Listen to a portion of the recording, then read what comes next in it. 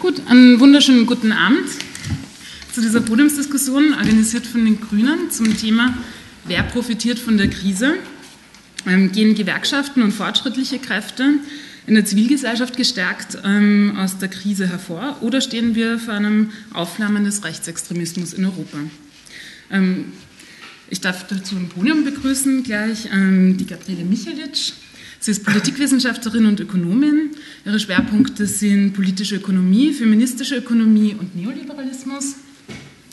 Dann der Markus Kozer, Gewerkschafter von den Alternativen und Grünen und unabhängigen Gewerkschafterinnen, Mitglied im ÖGB-Bundesvorstand und auch Ökonom. Dann den Andreas Beheim, Rechtsextremismus-Experte vom Dokumentationsarchiv ähm, des österreichischen Widerstandes ähm, Buchautor von mehreren Büchern, zum Beispiel Die extreme Rechte in Europa. Und den Albert Steinhauser, seit 2008 ist er grüner Nationalratsmandatar oder Abgeordneter und er ist Justiz- und Datenschutzsprecher der Grünen. Dann stelle ich mich noch ganz kurz vor, mein Name ist Flora Eder. Ähm, ich habe Politikwissenschaft studiert, habe mich ähm, auf der WH recht viel engagiert, war im Journalismus tätig und jetzt bin ich im Neunerhaus ein Verein für ähm, obdachlose Menschen. Genau.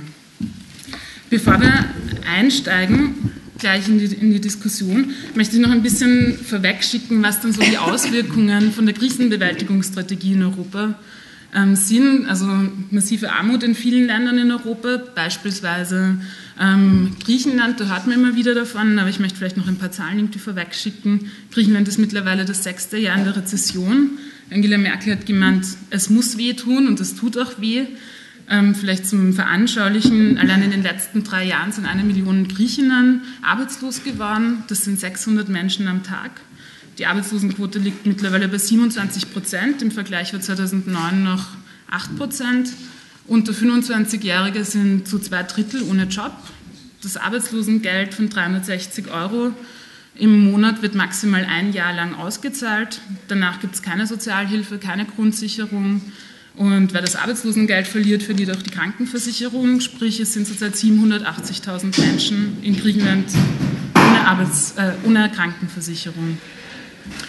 Ähm, ähnlich schaut es auch in Bulgarien aus. Dort gab es Selbstverbrennungen. Die Armutsgrenze liegt bei 120 Euro nur.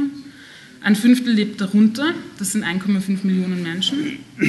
Und der Durchschnitt hat 350 Euro im Monat zum Leben. Und Jugendarbeitslosigkeit in der EU sind zum Beispiel 5,5 Millionen unter 25 ohne Job. Das sind in Bulgarien 42 Prozent, Spanien 56 Prozent, Griechenland 60 Prozent, wie schon erwähnt. Ähm, ich würde ich würd gerne weitergehen, weil wir im Podium. Wenn es für Sie in Ordnung ist, würde ich gerne mal das Podium zu Wort kommen lassen und gleich mal meine erste Frage mal an die Gabriele Michelitsch richten. Ähm, ganz, ganz allgemein, als Politikwissenschaftlerin und Ökonomin, was meinen denn wir dann, wenn wir von der Krise sprechen? Was genau ist denn da eigentlich in der Krise? Wie wirkt sich das aus? Wie ist es dazu gekommen? Ja, die, die Frage, was ist eigentlich ähm, diese Krise, was ist damit gemeint, ist natürlich schon eine ganz zentrale insofern, als äh, die Antwort die Denkrichtung vorgibt und genau das ja auch das ist, was umkämpft ist. Also was genau in der Krise ist, ist natürlich eine Frage der Definition. Und äh, aus meiner Sicht äh, handelt es sich um eine wirklich sehr umfassende, jetzt in Österreich besonders sagen, eine Finanz- und Wirtschaftskrise nach wie vor, äh, mit Blick auch auf die Europäische Union würde ich das sagen. Aber das heißt natürlich nicht, dass diese Vielzahl von Krisen, die damit verbunden sind, wie Ökologie, Ernährungskrise etc., äh, gänzlich sozusagen ungenannt bleiben sollen. Ich denke, dass mit dieser Finanz- und Wirtschaftskrise sich eine sehr stark sichtbar werdende Demokratiekrise auch verbindet und dass das sicher für den heutigen Abend ein ganz wesentliches Thema auch sein wird. Ähm, aus meiner Sicht ist äh, diese Krise der Ökonomie und des Politischen, wenn man so will, eine unmittelbare Folge, ein Kristallisationspunkt neoliberaler Transformation, neoliberaler Politiken der letzten 30 Jahre in etwa.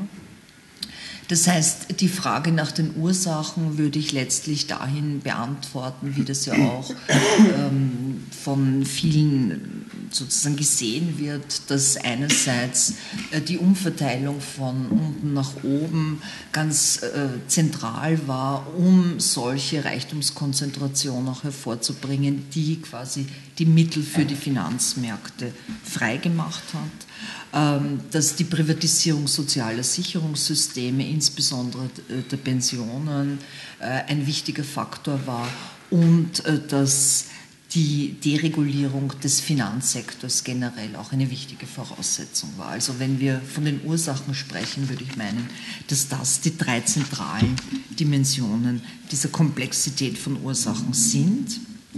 Und die Folgen sind, äh, glaube ich, schon ganz klar angesprochen worden. Es sind äh, massive Spaltungen in der Gesellschaft. Wir haben ein unglaubliches, äh, eine unglaubliche Zunahme an sozialer Ungleichheit. Wir haben eine Vertiefung der Spaltung zwischen Arbeit und Kapital, zwischen den Geschlechtern.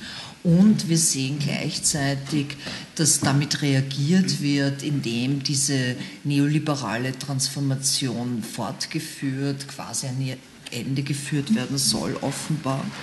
Äh, das heißt, eine Politik, die Zunahme von Ungleichheit und damit natürlich auch gesellschaftlichen Hierarchien verschärft und entsprechend auch zunehmende Entdemokratisierung. Also ich denke, das Wort von der, dieser Sage von Merkel, von der marktkonformen Demokratie, ist tatsächlich ernst zu nehmen und als, durchaus als Diagnose auch zu verstehen. Und ähm, ja, ein Symptom für das Ausmaß eigentlich der Brisanz der gegenwärtigen Situation. Mhm. Ähm, meine zweite Frage daran anschließend, ähm, wenn wir jetzt gehört haben, wie ist es zur Krise gekommen, ähm, was hat sich denn da ähm, im Bereich der Gewerkschaften als Antworten auf die Krise in den letzten Jahren getan? Sind Gewerkschaften stärker geworden? Wie ist das auch im Unterschied in Europa, in den verschiedenen Ländern, auf einer europaweiten Ebene? Ähm, und auch in, in, Österreich auch im Unterschied dazu, das würde ich gerne an dich richten. Also ich glaube, da muss man die unterschiedlichen Phasen der Krise einmal unterscheiden, äh, nämlich auch was die unterschiedlichen Aktivitäten, Aktionsformen, Aktionsmöglichkeiten der Gewerkschaften ausmacht. Äh, wie die Krise ausgebrochen ist, also mit voller Wucht auch Europa getroffen hat, war ja quasi erstmals auch wieder von einem Comeback des Keynesianismus beziehungsweise von einem Bruch mit der bisherigen neoliberalen äh, Wirtschaftspolitik beziehungsweise Wirtschaftspolitiken die Rede. Ja. Es haben interessanterweise die konservativsten äh, Politikerinnen quer durch Europa vor allem davon gesprochen, dass es so nicht mehr weitergehen kann, dass es eine, ein Umdenken braucht, eine Neuregulierung und so weiter und so fort. Und es wurden jede Menge Konjunkturpakete geschnürt, es wurden äh, Bankenrettungspakete geschnürt und Maßnahmen gesetzt, beispielsweise um äh, die härtesten Auswirkungen der Krise abzufedern. Und in der Zeit hat sich plötzlich gezeigt, dass in Wirklichkeit das, was äh, seit Jahrzehnten stark unter Beschuss gestanden ist, nämlich das, äh, was man so sozialstaatliche Institutionen nennt oder sozialstaatliche Regulierungen plötzlich im Gegensatz zur Krise der 20er Jahre gewisserweise gewirkt hat. Dass nämlich der Sozialstaat seine Funktion, Nachfrage zu stabilisieren und den Sturz ins äh, äh, Elend von breiten Bevölkerungsschichten einigermaßen abgefedert, abgemildert hat. Und dass die Staaten, die quasi sozialstaatlich am besten ausgebildet waren, die Krise auch einmal am besten überwunden haben in der ersten Phase. Das ist einmal sozusagen eine, eine Sache. Und ich glaube, was damals ein, ein ein, ein, eine falsche oder trügerische Hoffnung war, war die, dass aufgrund dieses kurzen Fensters ja, einer kommunizierten Einsicht oder scheinbar kommunizierten Einsicht die Hoffnung bestanden hat, okay, es kommt jetzt tatsächlich zu einer Kurskorrektur in Europa. Nur diese Einsicht war relativ kurz, relativ kurzwährend ja, und ist in Wirklichkeit sehr schnell und das hat dann mit der Definitionsmacht, mit der Definition von Krise zu tun, was die Gabriele jetzt angesprochen hat, äh, auf einmal wieder erschüttert, nämlich ab dem Augenblick, wo man die Finanz- und Wirtschaftskrise in eine Staatsschuldenkrise umgedeutet hat und eigentlich in Wirklichkeit die Mechanismen, die äh, stabilisierend auf die Krise gewirkt hat, plötzlich massiv in Frage gestellt hat, nicht zuletzt unter dem Vorwand äh, der Budgetkonsolidierung und der Austeritätspolitik. Äh, am Anfang waren die Gewerkschaften, glaube ich, auch in die Form von Krisenbewältigungsstrategien auf unterschiedlichen nationalen Ebenen auch relativ stark eingebunden. Wenn ich mir Österreich anschaue, beispielsweise die Frage von Kurzarbeit, ja, äh, die Frage von, von, von betrieblichen Pakten, ja, die Frage äh, auch von, von, von, von äh, Möglichkeiten aus der Krise hinaus, hinauszukommen. Wobei man sozusagen schon auch, äh, auch sich anschauen muss, wie stark quasi die institutionelle Verankerung der Gewerkschaften einerseits in die Staatlichkeit war, ja, wie weit quasi das funktioniert hat und wo quasi die Gewerkschaften nicht so stark äh, in den Staaten verankert sind, beziehungsweise andere Traditionen haben als beispielsweise in Österreich oder auch in Deutschland.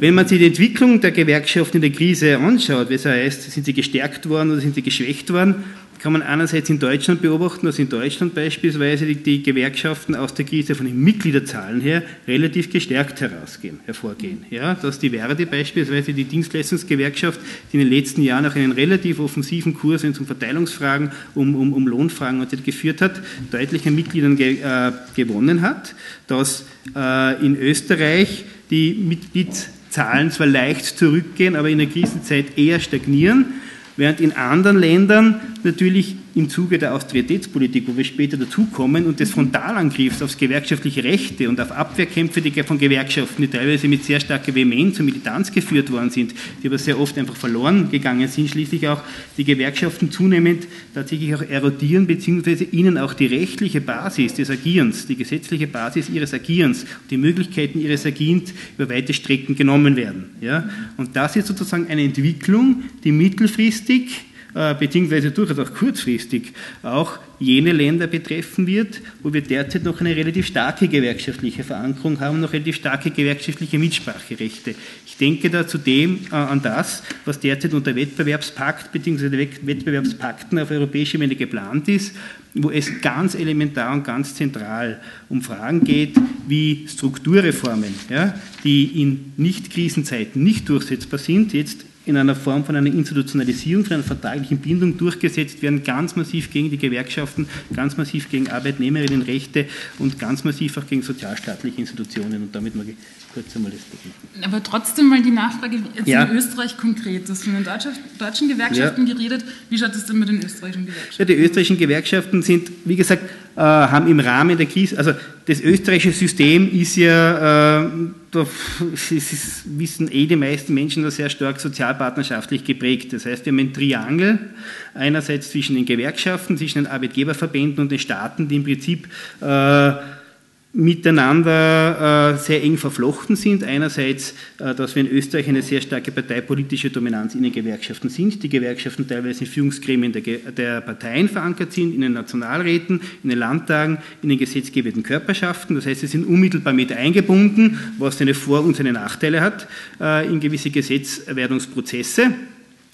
Das heißt, dieses aufgrund dessen, dass die Sozialdemokratie an der Regierung ist, hat die Verbindung zwischen Gewerkschaft und Regierung einigermaßen gut funktioniert, zumindest aus Sicht von jenen Teilen der Gewerkschaften, die sozusagen auch die Stammbelegschaften äh, über weite Strecken vertreten, äh, beziehungsweise die das auch so haben wollen. Während das, was schon zunehmend auch in der Krisenzeit in Brüche gerät, ist die andere Achse, die Achse zwischen, die traditionelle sozialpartnerschaftliche Achse zwischen Arbeitgeber- und Arbeitnehmerverbänden im Rahmen von Kollektivvertragsverhandlungen, die ja über Jahre hindurch, Jahrzehnte hindurch eigentlich eher friedlich vonstatten gegangen sind, wo es kaum Formen von Kampf gegeben hat, wo es kaum Formen von Kampfmaßnahmen, von Protesten gegeben hat. Wir haben in den letzten Jahren nicht kaum mehr größere Kollektivvertragsrunden, die nicht ohne Konflikte abgehen.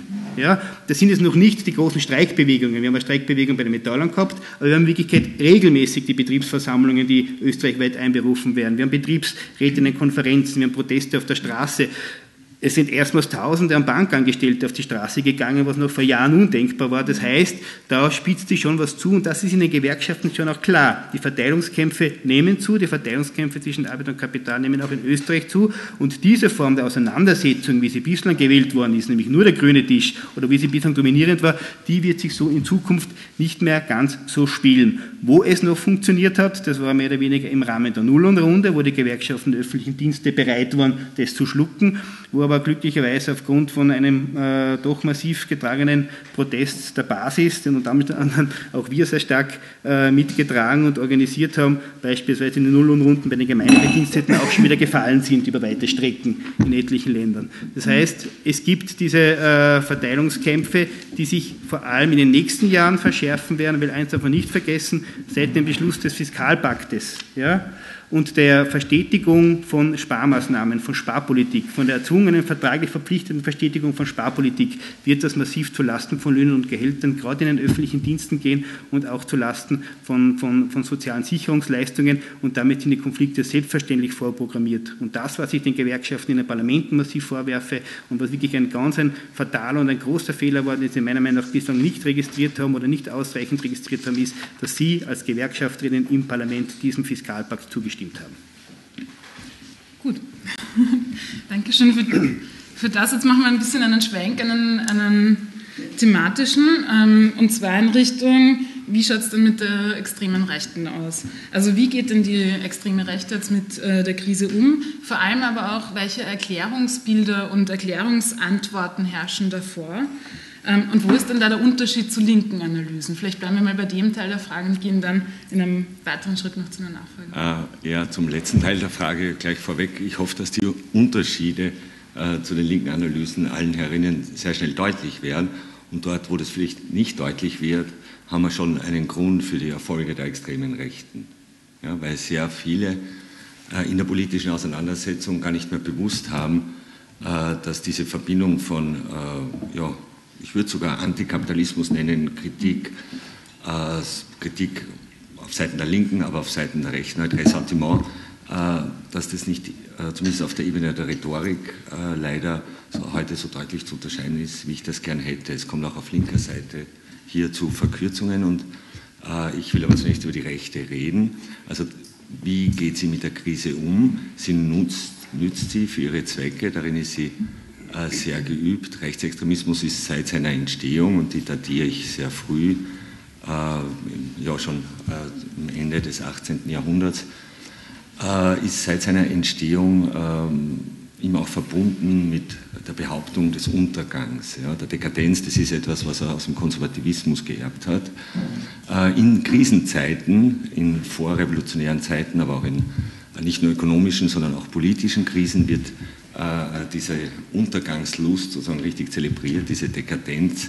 Ich darf erinnern äh, an die Formulierung von Karl Kraus äh, gegenüber dem, oder über den Spengler, er bezeichnet das als Untergangster. Äh, ein Hinweis, dass mit Angst sozusagen äh, ja, ein politischer Profit äh, geschlagen, damit herausgeschlagen wird. Also das heißt, reale ökonomische Ängste, Abstiegsängste werden äh, zu apokalyptischen, zu Untergangsängsten äh, sozusagen desartikuliert, äh, verschoben. Es geht weg auch vom Ökonomischen, also Rechte, darum habe ich vorher den Begriff Kritik für die Linke, das ist natürlich normativ sozusagen noch besetzen wollen, weil Rechte die Verhältnisse nicht kritisieren, sondern sie personalisieren. Ja. Und diese Realängste in gewisser Weise zu neurotischen Ängsten umwandeln, zu Ängsten vor vor Islamisierung, vor Zersetzung, ja, also der äußere Feind, der überfremdet der Innere, der zersetzt, der das Gemeinschaftliche äh, sozusagen untergräbt, historisch eng mit dem Antisemitismus verbunden, dieses Motiv der Zersetzung. Und darum darf es uns auch nicht wundern, dass die extreme Rechte gerade jetzt in Krisenzeiten wieder auf diesen Antisemitismus auch zurückgreift.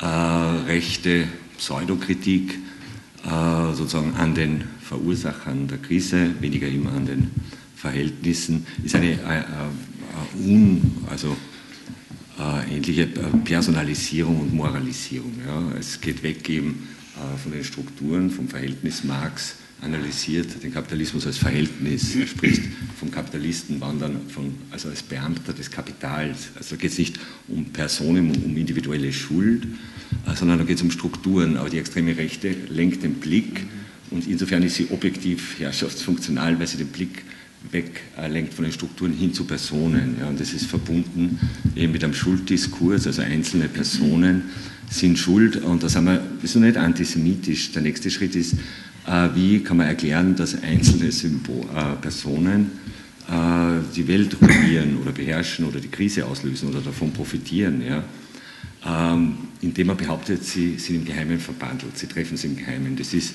diese Rede von den Bilderbergern, die jüdische Weltverschwörung, was historisch, also wo sich ein Anti-Freimaurer-Diskurs mit einem Antisemitismus wieder auch verbindet. Heute während gerade äh, nicht bei den neonazistischen Kräften in Europa, wie sie auch in Griechenland äh, sehr stark sind momentan, die sprechen ganz offen vom jüdischen Weltfeind. Die Rechtsextremen, und darin unterscheiden sie sich, und ich zähle die FPÖ dazu, verwenden so Codes, ja, das sind die Bankster, Wall Street Hyänen, ja, also da vermischt sich auch Anti-Amerikanismus mit Antisemitismus. Also diese persönlich Schuldigen sitzen immer in den USA an der Ostküste, äh, werden Globalisierer genannt. Dazu kommt eben wieder diese Paranoia. Heinz-Christian Strache schreibt in der Aula, dass ein geheimer Plan der Globalisierer eben zur Weltbeherrschung äh, besteht, beziehungsweise bezieht sich auf einen Autor zustimmend, der das behauptet. Und äh, er sagt äh, am Ende, dass äh, so wie Kennedy schon, da kommen immer so Anspielungen auf in der Verschwörungstheorie beliebte, berühmte Attentate und dass die Feinde der Globalisierung sozusagen zum, und da zählt die Strache dazu, äh, quasi auf einer schwarzen Liste stehen und zum Mord freigegeben sind. Ja. Also und das ist nicht nur gespielt, sondern dahinter ist auch eine subjektiv aufrichtige Paranoia, wie sie immer zum Antisemitismus gehört. Ja. Weil sie haben dann tatsächlich Angst vor diesen Mächtigen, an die sie glauben und die sie auch als Propanz aufbauen. Also die Krise wird äh, genutzt, äh, sie wird personalisierend erklärt, wie die Verhältnisse äh, schon äh, jeher. Und die Rechte ist damit äh, und eben sehr schnell dann auch wieder beim Antisemitismus jüngst ein Beispiel auch hier zu bringen, darf erinnern an die Facebook-Karikatur von Heinz-Christian Strache, ein Musterbeispiel. Ähm, ich habe es jetzt nicht hier, aber ich glaube, wir haben es alle im Kopf.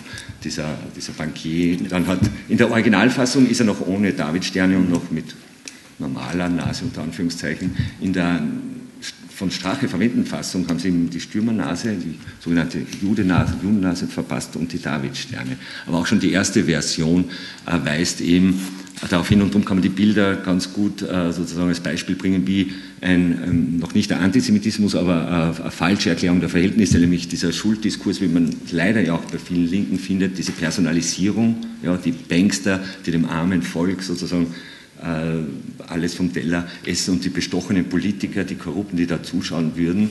Äh, das ist ein leider nicht nur auf die Rechte beschränkte, ja, ich würde sagen, ein Mythos, wirklich ein Bild. Äh, die extreme Rechte radikalisiert, das spitzt es dann noch eben noch zu, so wie Strache macht es offen antisemitisch. Ja. Insofern braucht es uns nicht wundern, dass der Antisemitismus in den allen mir europäisch bekannten Ländern zunimmt in den letzten Jahren, nicht in allen Items. Äh, die vergangenheitspolitischen Themen ist, ist eher abflauend wie Holocaustleugnung, aber sozusagen diese antisemitischen äh, Weltkonstruktionen von der die Juden beherrschen die Welt oder die Globalisierer. Also ähm, die Rechte erklärt äh, scheinbar also die Krise, äh, benennt die Schuldigen und das macht sie eben auch für ja, so erfolgreich aber nicht automatisch und das äh, zeigt der Blick auf Europa und insofern kann man die Krise auch nicht als alleinigen Faktor sozusagen, also begünstigendes Moment. Es in allen Studien europaweit äh, kommt ganz klar raus, dass, dass kein unmittelbarer Zusammenhang besteht zwischen Arbeitslosigkeit, Krisenerfahrung und Rechtsextremismus. Also die Wahlergebnisse quer über Europa und nicht erst seit Ausbruch der Krise, sondern schon seit den späten 80er Jahren in Österreich, 90er Jahren in Skandinavien, wo sie bis heute starke, nicht rechtsextreme rechtsextreme, aber rechtspopulistische Parteien haben, zeigt, äh, dass man sozusagen bei der Ursachenforschung da mehrdimensional oder auf mehreren Ebenen äh, auch vorgehen muss. Die Krise ist nicht der alleinige Faktor. Ein wichtiger Faktor ist, wie es den gegnerischen Kräften gelingt, sozusagen. Und da haben wir ja jetzt schon ein bisschen auch dazu was gehört, äh, ja, die Krise zu erklären, äh, diese Erklärungskompetenz plausibel anzuwenden, ohne in Populismen zu verfallen und mhm. zu versuchen, sozusagen der Rechten das Wasser abzugraben, indem man auch vereinfachend, personalisierend, moralisierend äh, agitiert. Und davon hängt es eben ab, wie stark die Rechte ist. Also äh, von der Schwäche oder der Fähigkeit auch der Linken. Äh, vielleicht noch zugespitzt die Frage aus dem Ankündigungstext jetzt nochmal aufzugreifen und vielleicht auch nochmal pointiert zu beantworten. Also kommt es jetzt zu einem Aufflammen der extremen Rechten durch die Krise? Würdest du sagen, nein? Ähm, das, das Aufflammen der extremen Rechten, äh, das hat schon lange begonnen und ist datiert eben mit Ende der 80er Jahre, Anfang der 90er Jahre in Westeuropa und hat den zentralen Grund sozusagen in dem, ja, im Systembruch Stichwort auch dann verbunden mit Globalisierung. Für, für Osteuropa gilt Ähnliches, ja, Transformationskrisen. Also da, da beginnt der Aufstieg der extremen Rechten immer wieder mit länderweise, mit kurzen Einbrüchen, aber im Großen und Ganzen haben wir äh, in diesen Ländern äh, Rechtsrucke zu vermerken.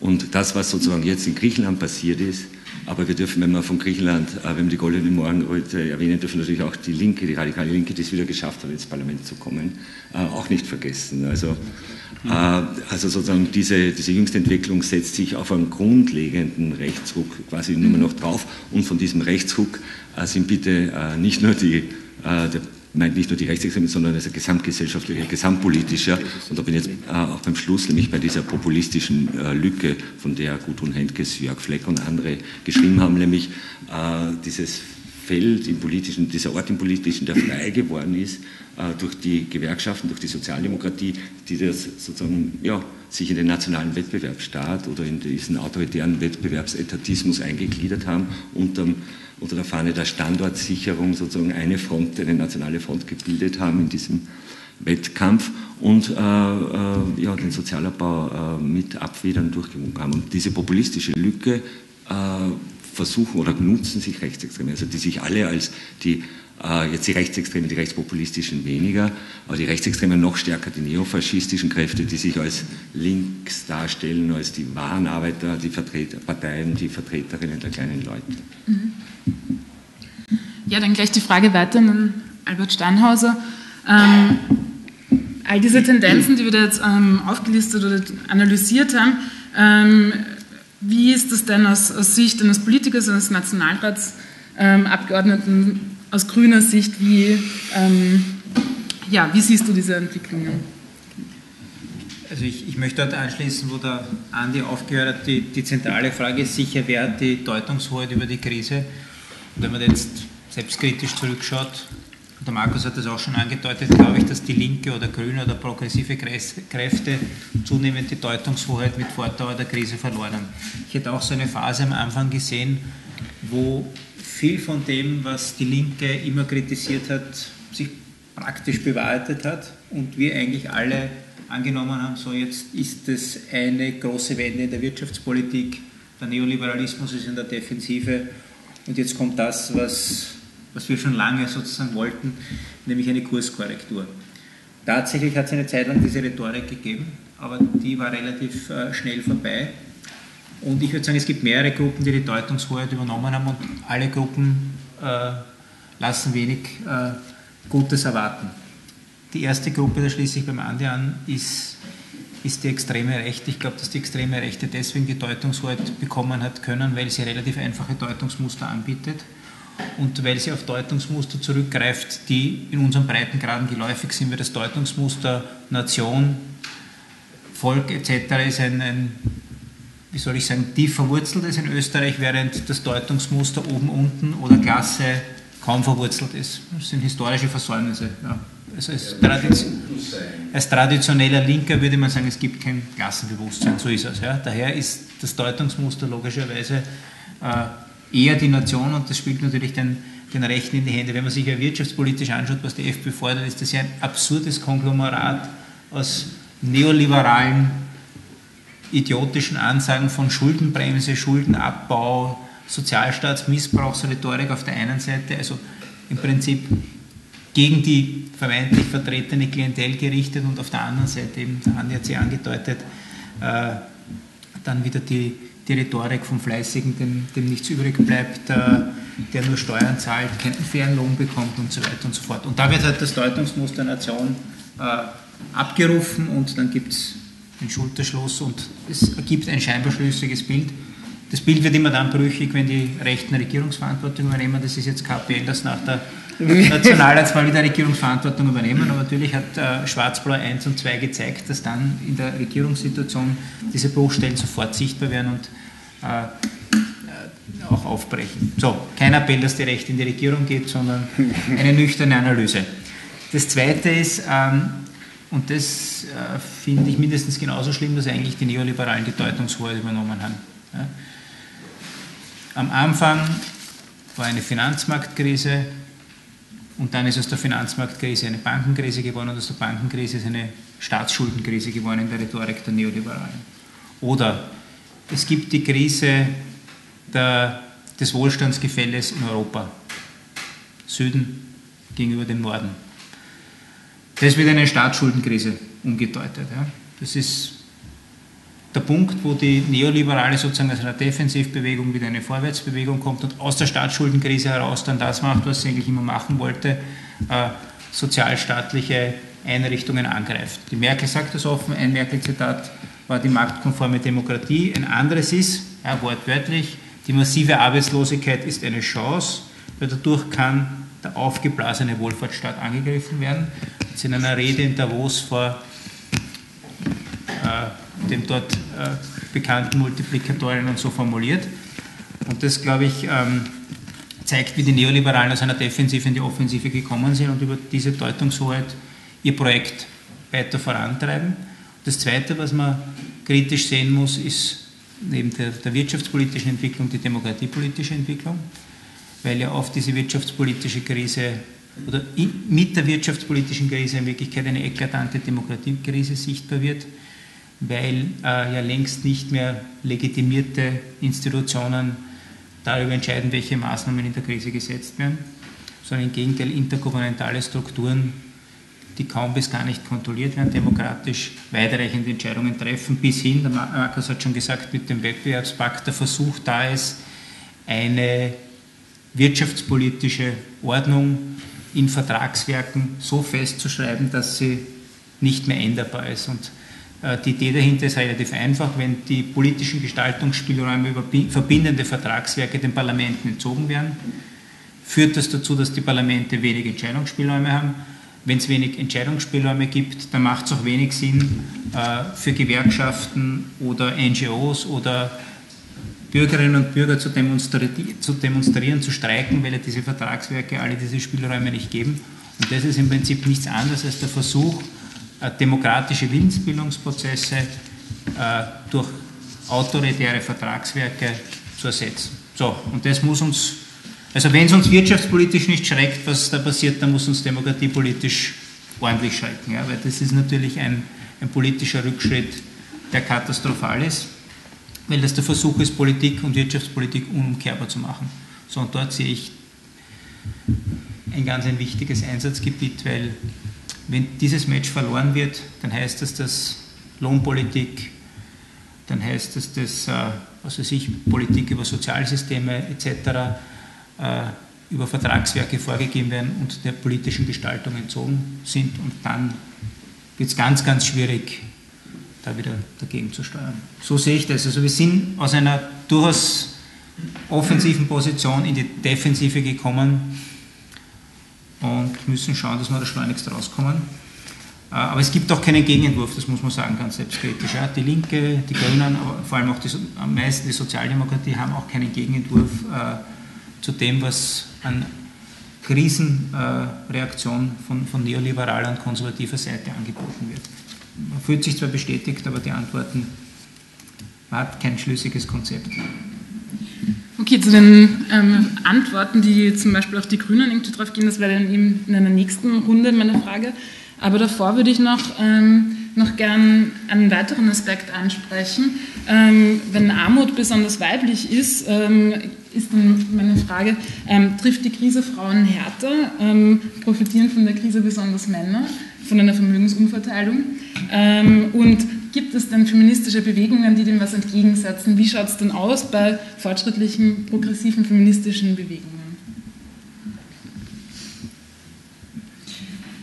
Also zum ersten Teil der Frage, ja, natürlich profitieren in dem Sinn ähm, Männer als diejenigen, die über Kapital verfügen, äh, in einem weit höheren Maße von dem, was wir jetzt als Krise irgendwie eingegrenzt haben.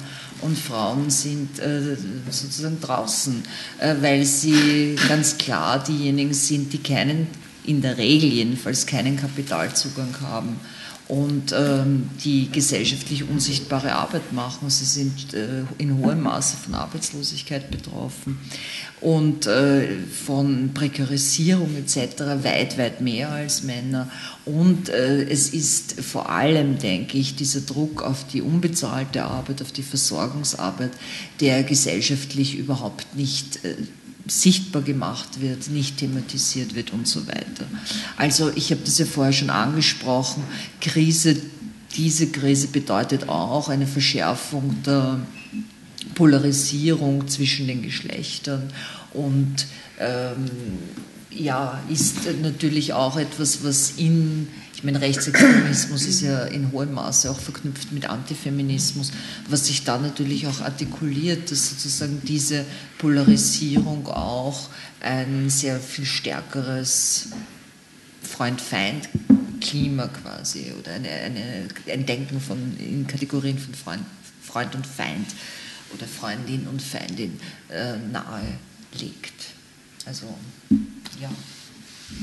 Und ähm, sind feministische Antworten bemerkbar? Gibt es feministische Strömungen, die also, dadurch irgendwie profitieren?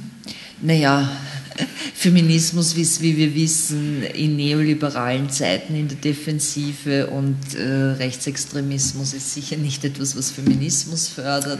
Also äh, ist sozusagen die strategische Situation ganz klar schwieriger geworden. Das ist das eine. Das andere ist, äh, Feminismus war aus meiner Sicht natürlich immer hochgradig auch mit alternativen Gesellschaftsentwürfen verbunden mit der Forderung nicht mehr von sozusagen dem bestehenden Kuchen, sondern einen anderen Kuchen. Und äh, insofern ist die Perspektive gesellschaftliche Veränderung, und zwar fundamentale gesellschaftliche Veränderung, ein ganz wesentliches Merkmal von Feminismus. Und ich denke, dass das im, in Verbindung mit dieser angesprochenen Polarisierung von Geschlechterverhältnissen letzten Endes auch die feministische Bewegung oder die Bewegungen durchaus stärken kann, aber ich sehe das eher als Potenzial und im Moment ähm, sozusagen keine faktische Stärkung, wobei man sagen muss, wir haben in Österreich jetzt eigentlich seit 2011 eine ganz massive, starke Frauenbewegung, trotz allem. Ja, dann würde ich gerne noch ähm, einen, einen Aspekt noch ähm, Platz geben, der vorher ein bisschen noch zu kurz gekommen ist. Austeritätspolitik, das ist vorher schon angesprochen. Ähm, aber was ist denn Austeritätspolitik eigentlich? Vielleicht kannst du das ganz kurz erklären. Und wie wirkt sich das denn auch auf ähm, die Handlungsfähigkeit oder die Handlungsoption von politischen Bewegungen aus, die fortschrittlich sind? Genau? Ja, Austeritätspolitik ist kurz zusammengefasst so etwas wie Sparpolitik. Ja, in Wirklichkeit eine äh, längerfristig angelegte Politik der Budgetkonsolidierung, des Staatsschuldenabbaus, der praktisch davon ausgeht, dass Länder, Nationen, äh, Systeme überschuldet sind und diesen Schuldenstand zurückführen müssen. Und das ist das quasi die Herausforderung, die mit der Staatsschuldenkrise, also mit dem Ausrufen der Staatsschuldenkrise, äh, praktisch in, quer durch Europa äh, den zentralen Stellenwert eingenommen hat. Äh, über diverse institutionelle Maßnahmen auf europäischer Ebene, ich denke an den EU-Sitzbeck, an eine Verschärfung äh, des Stabilitätspakts, über Sanktionsmechanismen, wenn nicht ausreichend gespart wird, über Schuldenbremsen, Schuldenregeln und so weiter und so fort. Ich möchte jetzt nicht alles erwähnen, die aber im Prinzip alle eine Stoßrichtung haben. An und für sich geht es darum, dass die These vertreten wird, dass, dass äh, die Länder, die Nationen, die Menschen, die dort gelebt haben, insbesondere über den Verhältnissen gelebt hätten und entsprechend äh, die bisher aufgeblasenen Sozialstaatlichkeiten, die aufgeblasenen öffentlichen Dienste zurückgeführt werden müssen auf ein verträgliches Niveau. Äh, was das mit sich bringt, erleben wir seit mehreren Jahren. Wir haben eine Parallelentwicklung von Sparpolitiken auf allen, in allen europäischen Ländern, insbesondere in allen Euro-Ländern also allen Staaten der Eurozone. Und äh, das natürlich, wenn alle Staaten gleichzeitig synchron sparen und Sparpakete schnüren, dass das in der Regel eine wirtschaftliche Situation, äh, eine wirtschaftliche Entwicklung noch eher verstärkt äh, als abschwächt, nämlich insbesondere eine rezessive Entwicklung, ist an und für sich klar und belegt sich auch über die letzten äh, Jahre recht eindrucksvoll. Und was sozusagen auch, wie die Frage zuerst war, unterschiedliche Auswirkungen auf Geschlechter, was sich auch sehr stark bemerken lässt, während in der ersten Phase der Krise insbesondere der privatwirtschaftliche Exportsektor, der stark männlich dominiert war, von den Arbeitskräften betroffen war und die Frauenbeschäftigung zu diesem Zeitpunkt noch nicht so massiv äh, zurückgegangen ist, trifft jetzt diese Sparpolitik im Bereich der öffentlichen Dienste beispielsweise, im Bereich der Ausgaben für soziale Dienste, für soziale Leistungen äh, massiv auch Frauen. Äh, einerseits dadurch, dass Arbeitsplätze im öffentlichen Dienst schlichtweg verloren gehen. Wir haben beispielsweise in Großbritannien, äh, also quer durch alle europäischen Länder in Wirklichkeit, wo bei den öffentlichen Diensten gespart wird, ist das insbesondere im Gesundheitsbereich und im Bildungsbereich. Also das sind jene Bereiche, insbesondere in Großbritannien, in Italien, aber auch in Griechenland, wo ganz ein massiver Abbau von Arbeitsplätzen stattfindet. Und Arbeitsplätze im öffentlichen Dienst waren bis jetzt jene Frauenarbeitsplätze, die einigermaßen noch gleich äh, entlohnt waren im Verhältnis zu den Männerarbeitsplätzen und einigermaßen eine gewisse Stabilität geboten haben. Und die werden jetzt massiv zurückgefahren, was natürlich auch dazu führt, dass wenn öffentliche Leistungen, öffentliche Dienste in diesem Bereich der Reproduktion, wenn man so sagen will, zurückgefahren werden, natürlich auch die Arbeit, ja, die Arbeit, die Reproduktionsarbeit im privaten Bereich wieder stärker geschlechterspezifisch verteilt wird. Das heißt, es ist schon eine massive Auswirkung, die da äh, eintritt und passiert. Und wir haben insbesondere in jenen Ländern der europäischen Peripherie, wie es so schön heißt, in jenen Ländern, die beispielsweise äh, unter dem Euro-Rettungsschirm stehen, wo praktisch die Troika die Vorgaben macht, unter welchen Voraussetzungen äh, die Länder unter Anführungszeichen Staatshilfen bekommen. Dort haben wir tatsächlich massivste Einschnitte in die sozialstaatlichen Strukturen einerseits, aber insbesondere auch in äh, Arbeitsrechte, in Arbeitnehmerinnenrechte, in Gewerkschaftsrechte, in soziale Rechte. Das geht von Abbau des Kündigungsschutzes, das geht von neuen Beschäftigungsverhältnissen, die beispielsweise Jugendliche insbesondere zu äh, Einkommen unter Niedriglohn arbeiten lassen, wo es überhaupt keinen Kündigungsschutz mehr gibt, keine soziale Absicherung. Das geht dorthin, dass zu Gewerkschaften alternative Verhandlungsinstitutionen geschaffen werden, die auf betrieblicher Ebene insbesondere Löhne und Einkommen verhandeln sollen und nicht mehr auf einer überbetrieblichen. Das heißt, wir haben ein sukzessives Rückführen des Lohnniveaus, des sozialen Sicherungssysteme unter dem Aspekt, der äh, bereits erwähnt worden ist, dass nämlich die Krise eine Krise auch der Wettbewerbsfähigkeit der einzelnen Länder ist, dass die Wettbewerbsfähigkeit um jeden Preis erhöht gehört. Und äh, an und für sich ist es ja recht klar, wenn es Länder gibt in einem äh, Wirtschaftsraum, die sehr stark exportorientiert sind und starke Exportüberschüsse machen, muss es entsprechend auch Länder geben, die importieren und entsprechende äh, Defizite machen. Das ist an und für sich eine recht einfache logische Rechnung.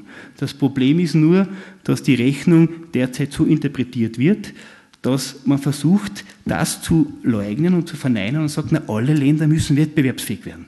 Alle Länder müssen ihre Wettbewerbsfähigkeit erhöhen und alle Länder müssen ihre Exportquote erhöhen. Das führt natürlich dazu, dass allen Ländern in Wirklichkeit ein massiver Abwertungsdruck auferlegt wird. Das Problem ist nur, die Abwertung über die Währung, wie es früher war, die funktioniert nicht mehr. Weil im Prinzip, wenn wir alle in einem Währungsraum äh, funktionieren, kann es das nicht geben, außer jedes Land hat einen, seinen eigenen Euro. Kurzer Seitenschlenk. Äh, wie gesagt, das funktioniert nicht mehr. Das heißt, die innere Abwertung kann nur darüber funktionieren, indem Löhne gedrückt werden. Indem in Wirklichkeit jedes äh, einzelne Land versucht, Wettbewerbsfähigkeit zu gewinnen, indem es die Löhne reduziert.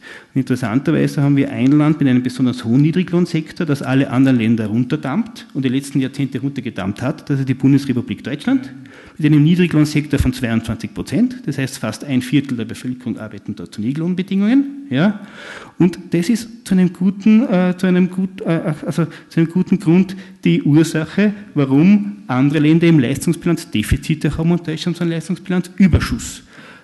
Was eigentlich die logische, faire, solidarische Strategie wäre, wäre, dass die Länder, die Leistungsbilanzüberschüsse, also Exportüberschüsse produzieren, ihre Löhne aufwerten, damit andere Länder leichter nachholen können.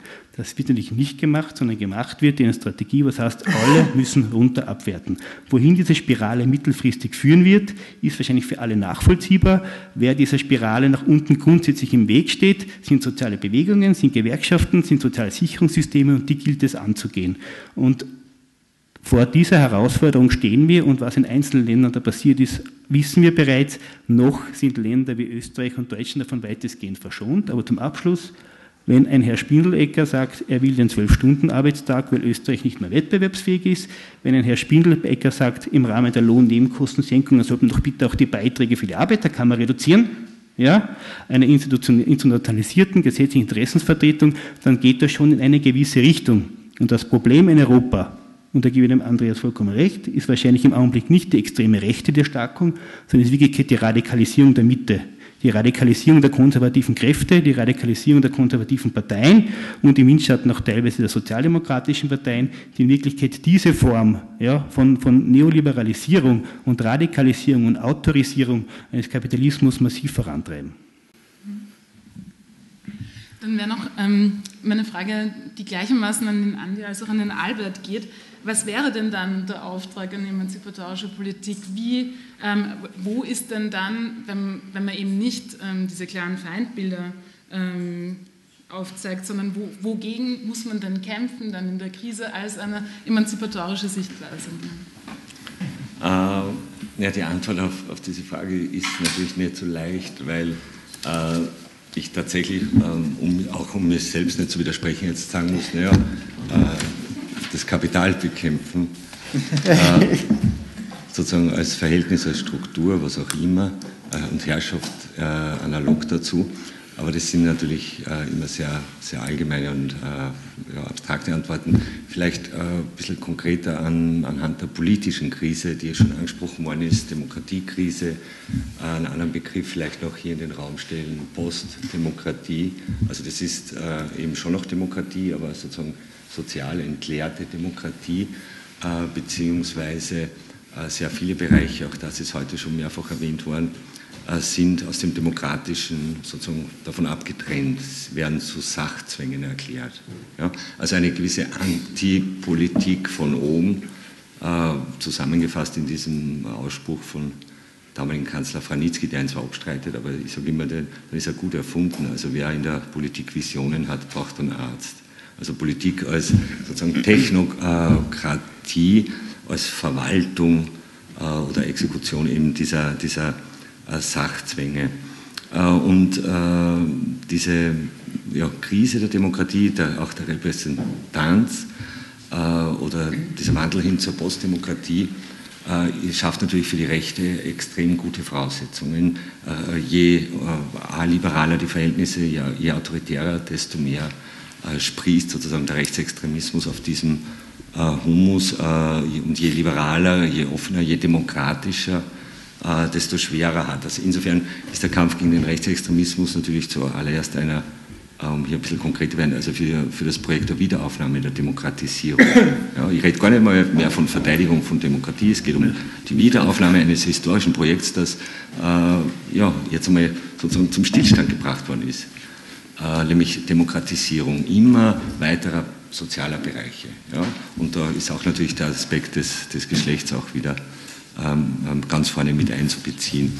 Ähm, noch konkreter werden vielleicht auf die Europäische Union runtergebrochen. Äh, da hieße dieser Kampf äh, für die Wiederaufnahme des Projekts äh, Demokratisierung äh, Internationalisierung. Solange es keine europäische Gewerkschaft gibt, und der Europäische Gewerkschaftsbund ist das nicht, Markus wird mir recht geben, äh, äh, wird, wird ja, dem zumindest auf der Ebene auch nicht bei, beizukommen sein, weil man eben, wie es der Arbeit angesprochen hat, in dieser, in dieser Deutungsmatrix eben der Nation und der, sozusagen dieser Wettbewerbs äh, oder der nationalen Wettbewerbsstaaten verhaftet bleibt und immer sozusagen dadurch auf dem Feld äh, auch der Konservativen und der Rechten und der Neoliberalen, wie man sie dann auch nennt, äh, hier gibt es durchaus Ähnlichkeiten und Überschneidungen, ohne alle in einen Topf zu hauen, äh, immer quasi nur in dem Feld spielt und da kann man nur verlieren.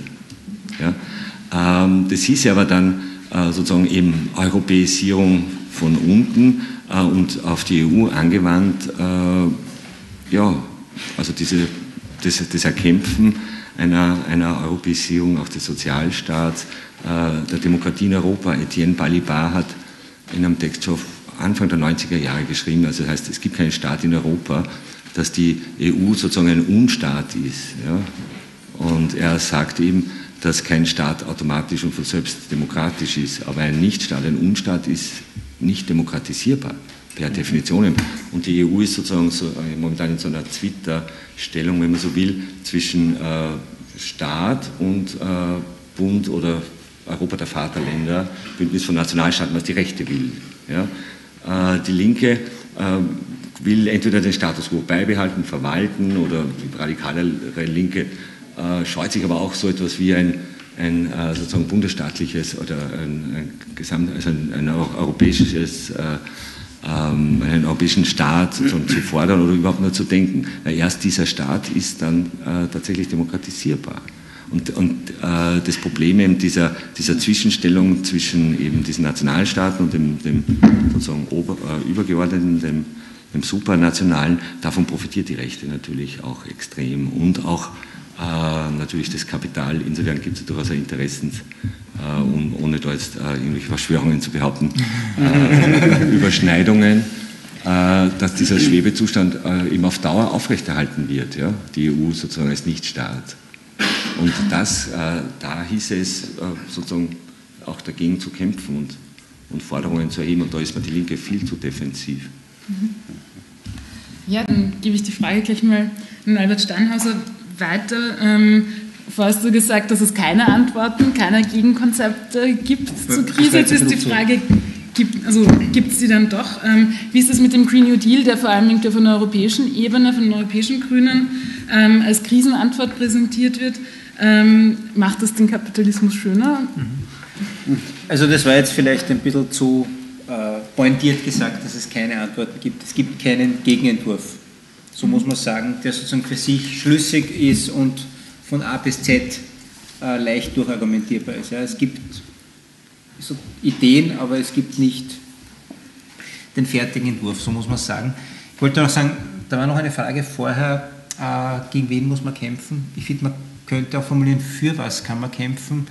Und ich hätte jetzt gesagt, die Krise interpretierend für gerechte Vermögensverteilung. Wenn wir sagen, am Beginn der Krise steht äh, Vermögensakkumulation, die eine Finanzmarktkrise ausgelöst hat, dann wäre eigentlich die logische Antwort, äh, um sowas zu verhindern, ist eine gerechte Vermögensverteilung, zumindest der Versuch, äh, dass Krisen vermieden werden. Ich meine, es ist Kapitalismus immanent, dass sich Kapital akkumuliert.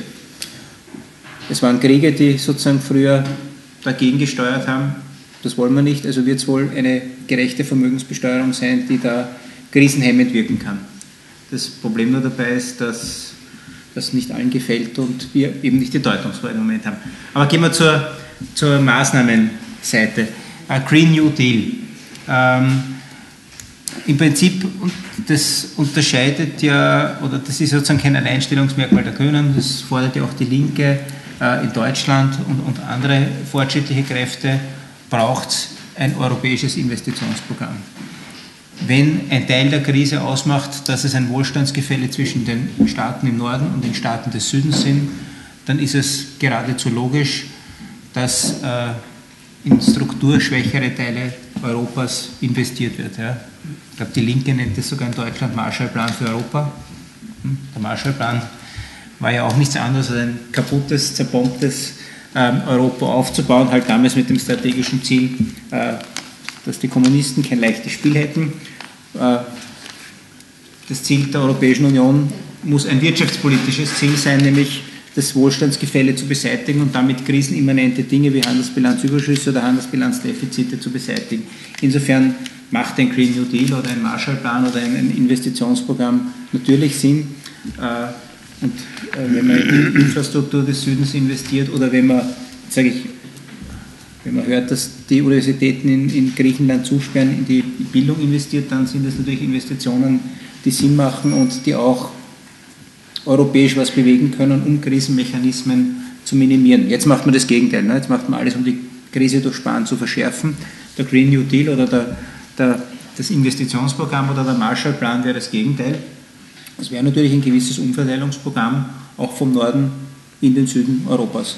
Aber das halte ich sozusagen für einen, ja, wenn man sagt, einen reformerischen oder reformistischen Ansatz. Ne? Das ist natürlich alles systemimmanent. Das ist klar.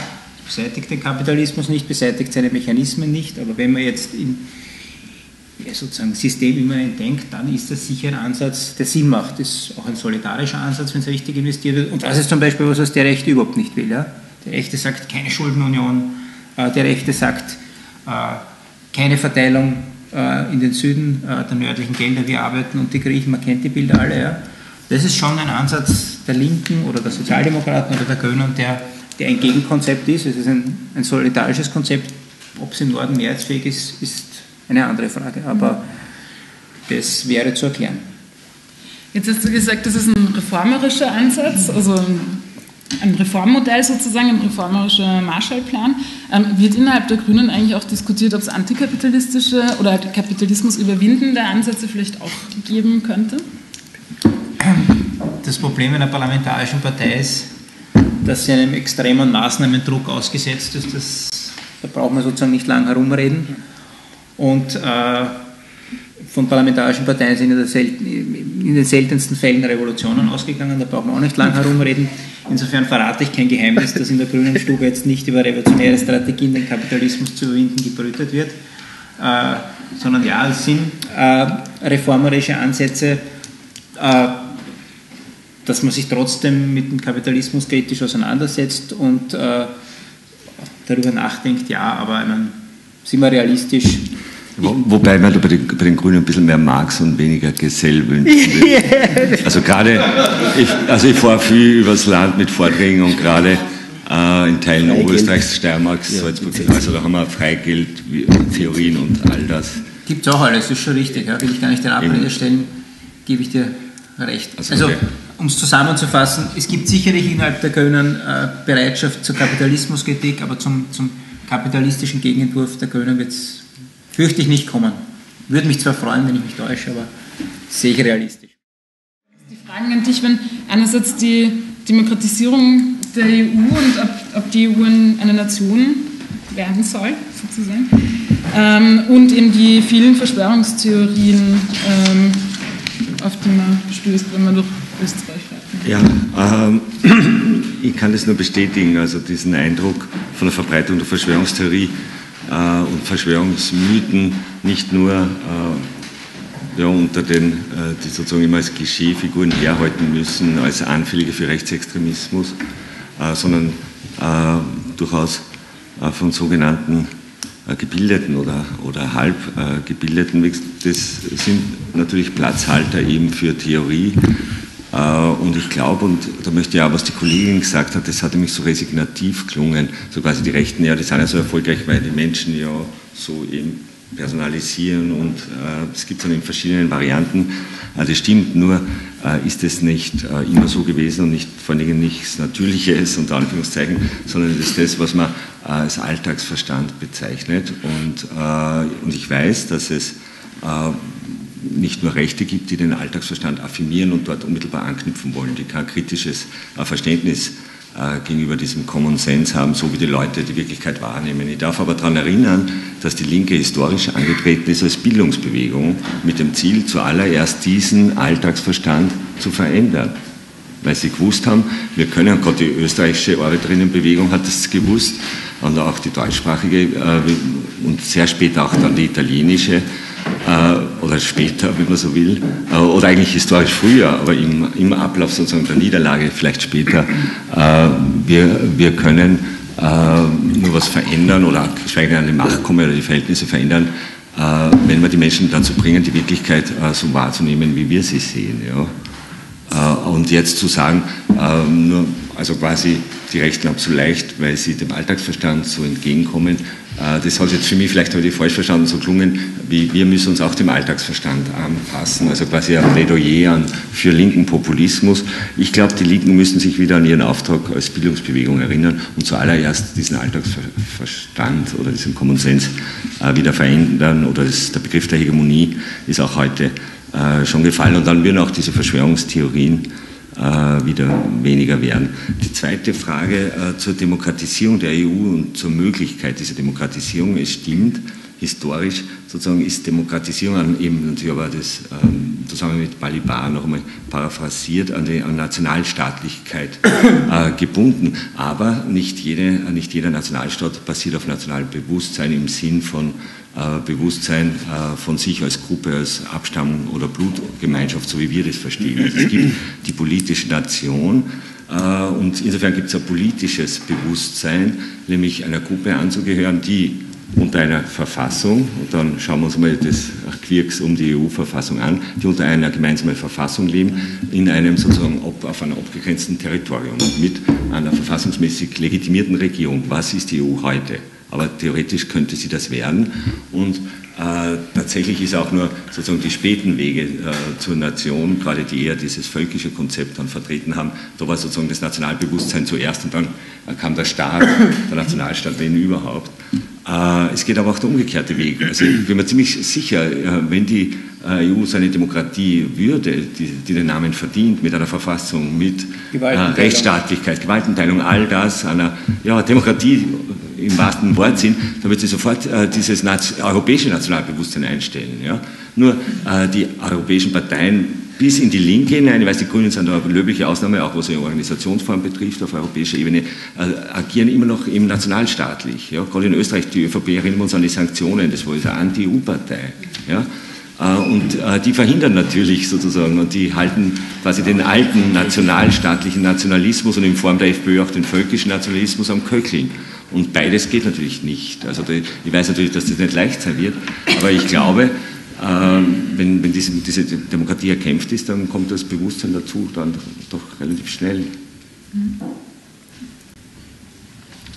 Ähm, ja, dann gleich die nächste Frage, das war die zur zunehmenden Maskulinität. ja, ich würde gerne, bevor ich auf diese Frage eingehe, angesichts dieser großen Begriffsverwirrung, die meines Erachtens hier herrscht, in der gesamten Debatte ein paar grundsätzliche Dinge sagen zum Begriff der Demokratie, weil ich finde, dass das eine unglaublich unstrukturierte Diskussion ist. Und äh, wir sollten, meine ich, äh, zur Kenntnis nehmen, dass Demokratie unterschiedlichste Ebenen umfasst.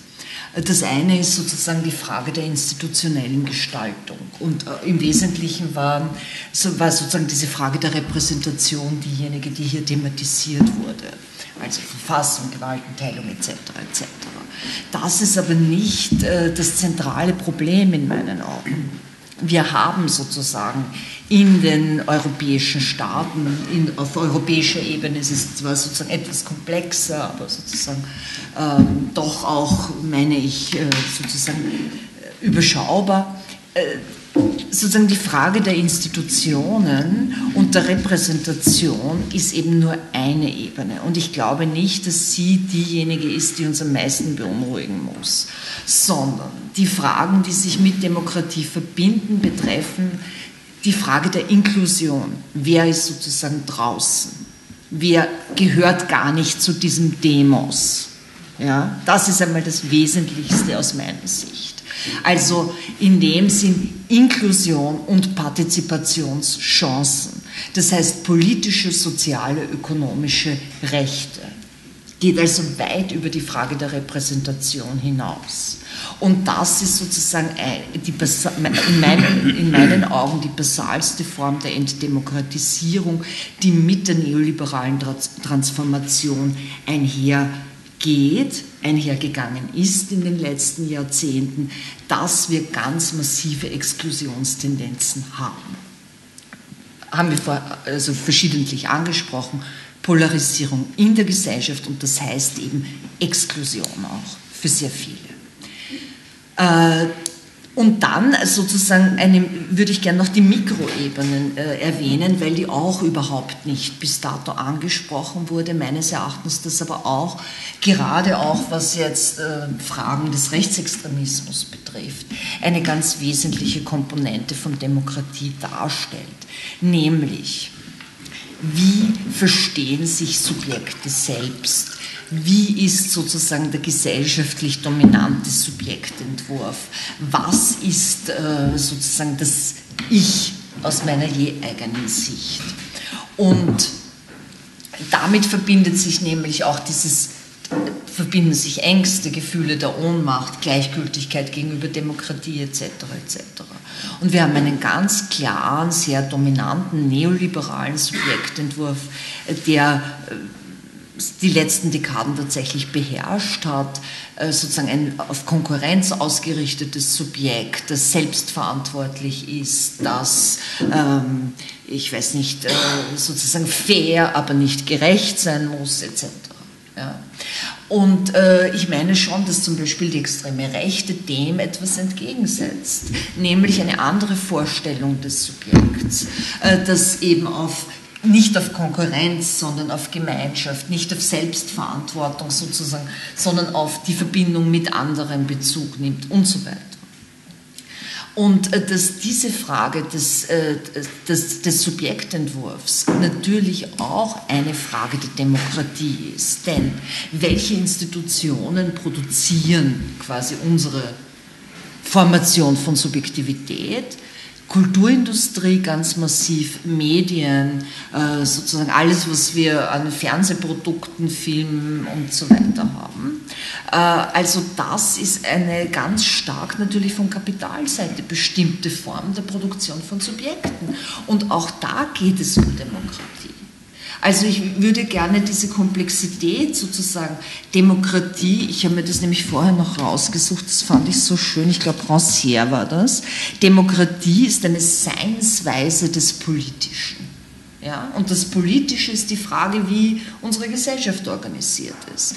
Und äh, von daher geht also Demokratie nicht über die Frage, welche Bereiche, Ökonomie oder so, ist es einbezogen oder nicht oder ähnliches, sondern es geht um sämtliche Le Lebensbereiche, ganz klar, aber es geht eben auch um diese unterschiedlichen Ebenen der institutionellen, der Repräsentation, der individuellen, wenn Sie so wollen, der Subjektivität und der ähm, Makroebene der Gesellschaft im Hinblick auf gesellschaftliche Spaltungen und Exklusionen. Und das scheint mir wichtig, das zu beachten. Und wenn wir das beachten, kann ich auch auf die Frage, die Sie gestellt haben, besser eingehen.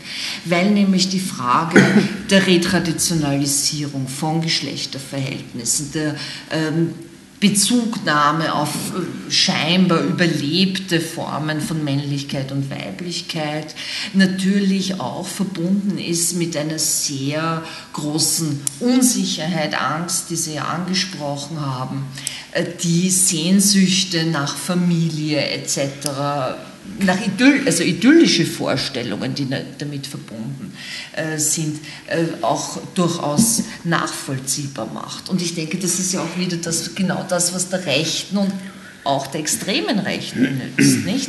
Dass ähm, sozusagen familiäre Gemeinschaften, Gemeinschaften generell in sehr natürlich hochgradig äh, romantisierter Form propagiert werden.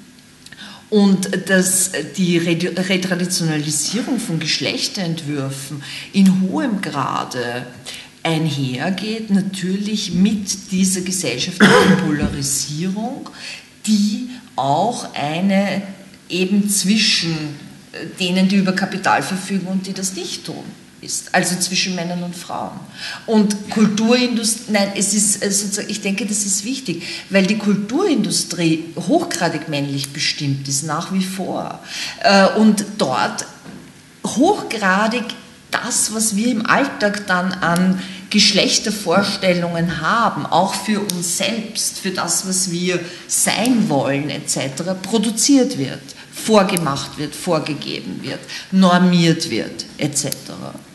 Und äh, dass auf der anderen Seite natürlich die materiellen Verhältnisse äh, ebenso hochgradige Abhängigkeiten für Frauen erzeugen und in dem Sinn Unterwerfung nahelegen. Ja? Also ich denke, das ist äh, Unterwerfung natürlich unter traditionelle ähm, Vorstellungen beziehungsweise konkret auch natürlich unter Männer begeben in Abhängigkeit. Wenn die Chance, dass ich am Arbeitsmarkt äh, mehr als 1000 Euro verdiene, minimal ist, äh, ist die Option äh, vielleicht, ich weiß nicht, eine Familie zu gründen und zwei Kinder zu haben und zu Hause zu bleiben, vielleicht durchaus verlockend. Verstehen Sie? Also das ist ja die Frage Beruf oder Familie ist ja nicht eine, die sich so stellt, sondern es ist immer der Kontext, der letztlich darüber entscheidet. Also ich denke, es geht von beiden Seiten. Wir haben sozusagen, wenn Sie so wollen, unter großen Anführungszeichen, von männlicher Seite eine ganz massive Produktion von unglaublich stereotypen Weiblichkeitsbildern und Männlichkeitsbildern. Wenn man, ich meine, ich, nur eine Nebenbemerkung, wenn man sich das Kinoprogramm, weil ich das nämlich vor ein paar Tagen gemacht habe, so ansieht, eine Unzahl an Kriegsfilmen, ja, die alle sozusagen diesen kriegerischen Heros äh, beschwören, äh, sei es, dass man gegen UFOs kämpft oder was auch immer. Ja. Also für mich gar nicht nachvollziehbar und auf der anderen Seite natürlich diese ganz stereotype Weiblichkeit. Und na, natürlich unter Anführungszeichen sind äh, diese enorm polarisierten und sich weiter polarisierenden materiellen Verhältnisse etwas, was Abhängigkeiten und damit Unterwerfungen verstärkt. So würde ich das sehen. Du hast noch eine Nachfrage direkt auf das? Nachfrage.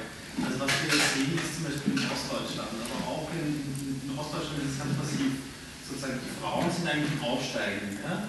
Also so, also ich, ich, bin mir nicht ganz sicher, aber sozusagen die Frauen wandern ab und, und, und sind besser in der Bildung. Man merkt es auch in, in der akademischen Schicht momentan, im technischen, in manchen äh, sozusagen Sparten, dass Frauen leichter aufsteigen, also nicht so von der Krise betroffen sind, weil die Bildung besser ist.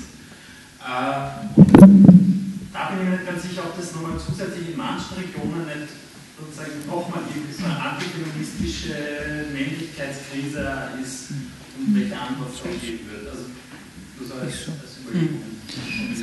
Also, dass Frauen im Kontext der Krise leicht aufsteigen würden, ist mir ehrlich gesagt neu. Und Nein, wir sehen ja das Gegenteil. Wir sehen ganz massive Schließungstendenzen. Äh, und äh, also Markus hat das angesprochen, Frauenarbeitslosigkeit, die so massiv gestiegen ist. Aber das ist etwas, was ja schon 2009 äh, eingesetzt hat. Wir hatten sozusagen 2009 schon dem Beginn des Anstiegs der Frauenarbeitslosigkeit. Äh, nur wurde das öffentlich nicht äh, thematisiert. Nicht? Das waren die Bauarbeiter, die wurden thematisiert, aber nicht, ich weiß nicht, die Handelsangestellten oder im Tourismus beschäftigten Frauen oder ähnliches. Es gab äh, ganz massive Unterschiede in der Diskursivierung, was beispielsweise die zigtausenden Beschäftigten bei Opel oder bei, also diese, wie hat dieser Nein, nein, dieser Versand. Diese äh, große deutsche sozusagen Handelsquelle, diese Quellegeschichte. Also ich meine jetzt Quelle und sozusagen das Gesamte, das waren nämlich ungefähr gleich viele Beschäftigte wie bei Opel. Opel wurde gerettet, war groß in den Medien permanent. Äh, Im Verhältnis dazu war Quelle sozusagen kein Thema und ganz andere Beschäftigte. Also das wird ganz anders gesehen, wird ganz anders sozusagen thematisiert. Ähm, ja, das ist sozusagen etwas, was man konstatieren muss. Äh, Geschlecht wird im öffentlichen Diskurs hochgradig unsichtbar gemacht. Also, also es wird in dem Sinn entgeschlechtlicht. Dort, wo tatsächlich hochgradig von Männern die Rede ist, äh, wird so getan, als gäbe es kein Geschlecht. Ja, das ist sozusagen ein Faktum. Das gilt auch für den wissenschaftlichen Diskurs etc. Aber ich glaube, ich habe jetzt ein bisschen die Ursprungsfrage. Nein, habe ich jetzt irgendwie aus den Augen verloren. Könnten Sie es noch einmal kurz? Ich, ich, nur, nur ein Stichwort fehlt mir. Also Sie sagen, die Nachfrage war, also man kann wie der Rechtsextremismus dort beobachten, dass Frauen, also zum Beispiel in Ostdeutschland oder auch in anderen Regionen Europas, Frauen sind besser ausgebildet, ziehen weg, ja. sind sozusagen von, ja, ja, nicht so bedroht, okay. sozusagen natürlich auch die Männer ihren Status nochmal, dass sie eigentlich die normalerweise die Besser sind alles klar. So ein Anwachsen von einer antifeministischen rechtsextremen Bewegung dadurch. Da war die Frage.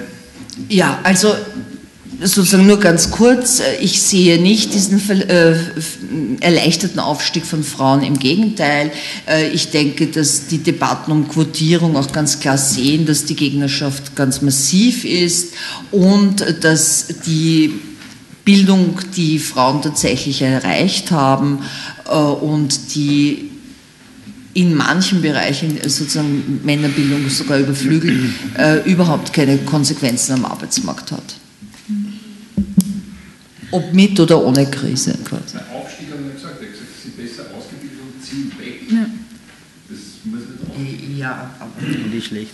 Gehen wir mal zu den vielen weiter, weiteren Fragen noch weiter, weil bei diesen auch einige Fragen. Äh, deponiert waren. Ähm, Standardnationalismus. Genau, der Standardnationalismus zum Beispiel. Beginnen wir mal mit ihm. Genau. Äh, und, und dann ähm, die Frage zu, den, zu, der Lohnpolitik und wie das ja. halt in anderen Regionen der Welt also, ist. Wenn ich mir die Analysen von, von, von äh, den Gewerkschaften nahestehenden wissenschaftlichen Einrichtungen in Deutschland und in äh, Österreich anschaue, ist von einem Standardnationalismus in puncto Lohnpolitik relativ wenig zu sehen, sondern dort wird es sehr wohl, so wie die Gabi das da gesagt hat, analysiert, dass es praktisch die drei U's gibt, die hauptverantwortlich sind für die entstehende Krise, nämlich Ungleichgewichte, äh, Ungleichverteilung äh, und die Unterregulierung der Finanzmärkte. Und beispielsweise der Horn vom, vom äh, IWK, also vom Gewerkschafts- Wirtschaftsinstitut, sagt ganz klar, wir brauchen in Deutschland eine deutliche Aufwertung der Löhne. Und es ist nicht zuletzt auch äh, eine massive Forderung der deutschen Gewerkschafter nach diesen gesetzlichen Mindestlöhnen, weil das dort tatsächlich noch viel brennender ist als bei uns, weil du eben einen derartig starken Niedriglohnsektor hast, der wegbricht. Ja? Also das hast du, und das wird schon sehr stark so argumentiert, dass die Aufwertung der Löhne in Deutschland jetzt nicht unbedingt im industriellen Sektor zu erfolgen hat. Ja? Und da praktisch sieht man schon ein bisschen die zweite, nicht im exportorientierten Sektor, wo nämlich die Löhne gar nicht so schlecht sind, ja? sondern in Wirklichkeit in diesem unternehmensnahen Dienstleistungsbereich und im sozialen Dienstleistungsbereich. Und daran verläuft in Deutschland beispielsweise auch was praktisch die Frage der Standortorientierung ist, das, ob, ob es sowas wie den Standortnationalismus gibt, auch entlang der Gewerkschaften. Verdi beispielsweise hat eine sehr starke europäische Orientierung und ist sehr stark, thematisiert sehr stark die Ungleichgewichte zwischen Deutschland äh, und den Südländern. Ja. Hat natürlich auch einen, einen großen Bereich, also die Deutsche Dienstleistungsgewerkschaft, die größte Gewerkschaft Deutschlands und auch Europas hat auch sehr stark einen, einen Dienstleistungssektor, einen sozialen Dienstleistungssektor und einen Dienstleistungssektor, wo niedrige Löhne bezahlt werden. Das heißt, dort ist das Thema auch sehr brennend. Und wir wollen dort eine deutliche Aufwertung dieses Bereiches. Ja, weil sie schlichtweg sagen, ab dem Augenblick, wo die, Lohn, die Lohnkosten dort steigen, steigt auch die Binnennachfrage und so weiter und so fort. Und aufgrund dessen ist auch den Ländern des Südens, die exportieren wollen, und sei es ihr Tourismus, den sie exportieren wollen, auch deutlich mehr geholfen, als wenn der Exportsektor, der deutsche Exportsektor aufwertet. Ja?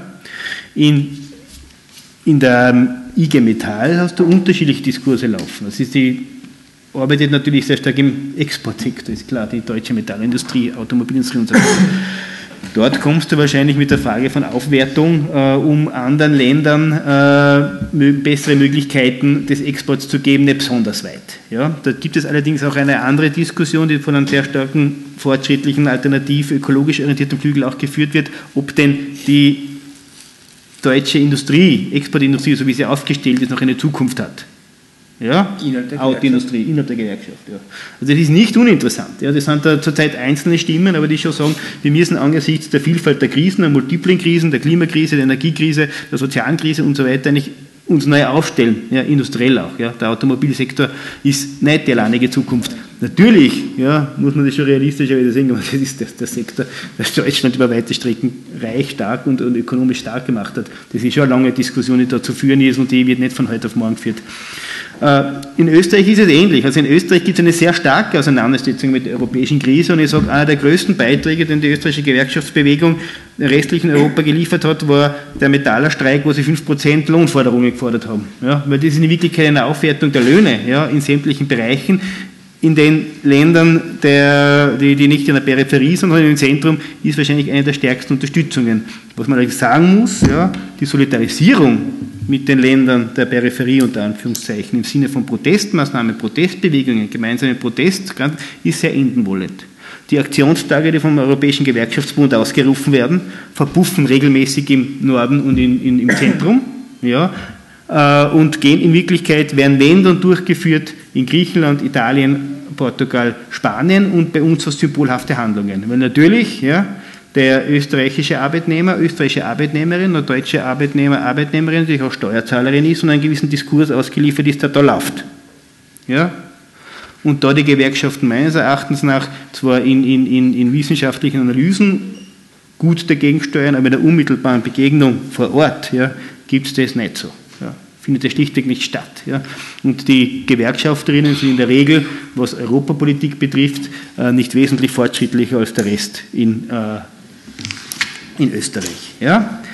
Äh, also das muss man wirklich sagen, das ist ein, ein, ein ganz ein zentrales Problem will noch ganz kurz zu dieser Europadebatte eingehen. Ich glaube, das, was man viel stärker vermitteln muss, ist das, was in Europa derzeit läuft an Konsolidierungspolitik, an Austeritätspolitik mit einem europäischen Integrationsprozess nichts zu tun hat, sondern in Wirklichkeit ist eine antieuropäische Politik ist, weil es in Wirklichkeit die Fronten und die, die soziale Schieflage und die Krise in Europa weiter verschärft. Ja, in Wirklichkeit kein Beitrag zu einer Überwindung von, von, von äh, unterschiedlichen ökonomischen Entwicklungen und so weiter sondern im Gegenteil, in Wirklichkeit ein Desintegrationsprojekt. Und Desintegrationsprojekte, die aber trotzdem an Integration festhalten, an scheinbare Integration, müssen autoritär ausgerichtet sein, sonst funktioniert es nicht.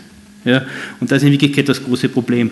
Wahrscheinlich ist die Frage, du hast das zuerst aufgeworfen, Andi, ob das europäische Projekt quasi als, als, als wie hast du es genannt, ich bin kein Politikwissenschaftler, irgendwie Staat, zwischen Staat oder sowas überhaupt reformfähig ist. Ja, wenn nicht, also, ist nicht Staat. Ja. Ich sage dir ganz ehrlich, ich bin ein sehr fortschrittlicher Mensch, der an die europäischen Gedanken glaubt. Ich bin mir nicht sicher, ob, ob der europäische Bundesstaat die linke Lösung ist. Ja? Also wenn ich mir derzeit anschaue, was europäisch bundesstaatlich vorangetrieben wird oder wer das sehr stark verficht, unter welchen, welche Ägide, weiß ich nicht, ob man das so recht ist. Ja, ja dann, bleibt nur, dann bleiben nur die, die, die Nationalstaaten. Nein, also, ich, ich sage noch nicht, ich weiß noch nicht, was dann bleibt. Ich weiß es gibt noch nicht, kein drittes und das Wichtige wäre es sozusagen, das anzuerkennen. Ja, aber die, die Frage ist, ob die Gründung, ja, ob, ob nicht der Gründungsprozess Lauf. von Europa grundsätzlich eigentlich eine europäische Integration im Sinne einer sozial, sozialen, solidarischen, ökologischen, radikaldemokratischen Lösung mit, mit, mit, mit all den Aspekten, die es braucht, möglich macht. Ich weiß es, ich bin mir da nicht mehr sicher und es gibt sehr viele fortschrittliche Leute, die nicht unbedingt nationalistisch oder auf Nationalstaat bauen, die auch sagen, sie sind sich nicht sicher, ob das tatsächlich funktioniert. Zu dem Punkt, was wir in Europa ständig unterschätzen, ist in Wirklichkeit, und da haben wir einen gewissen Diskurs, der immer sagt, dass Europa anscheinend so wahnsinnig exportorientiert in alle Richtungen ist. Tatsächlich findet 90 Prozent des Handels unter den europäischen Ländern unter den europäischen Ländern statt. Das heißt, 90 Prozent der Produkte, der Dienstleistungen, der Güter, die in Europa produziert werden, werden in Europa abgesetzt. Die Schweiz ist für Deutschland ein deutlich wichtigerer Handelspartner beispielsweise als China.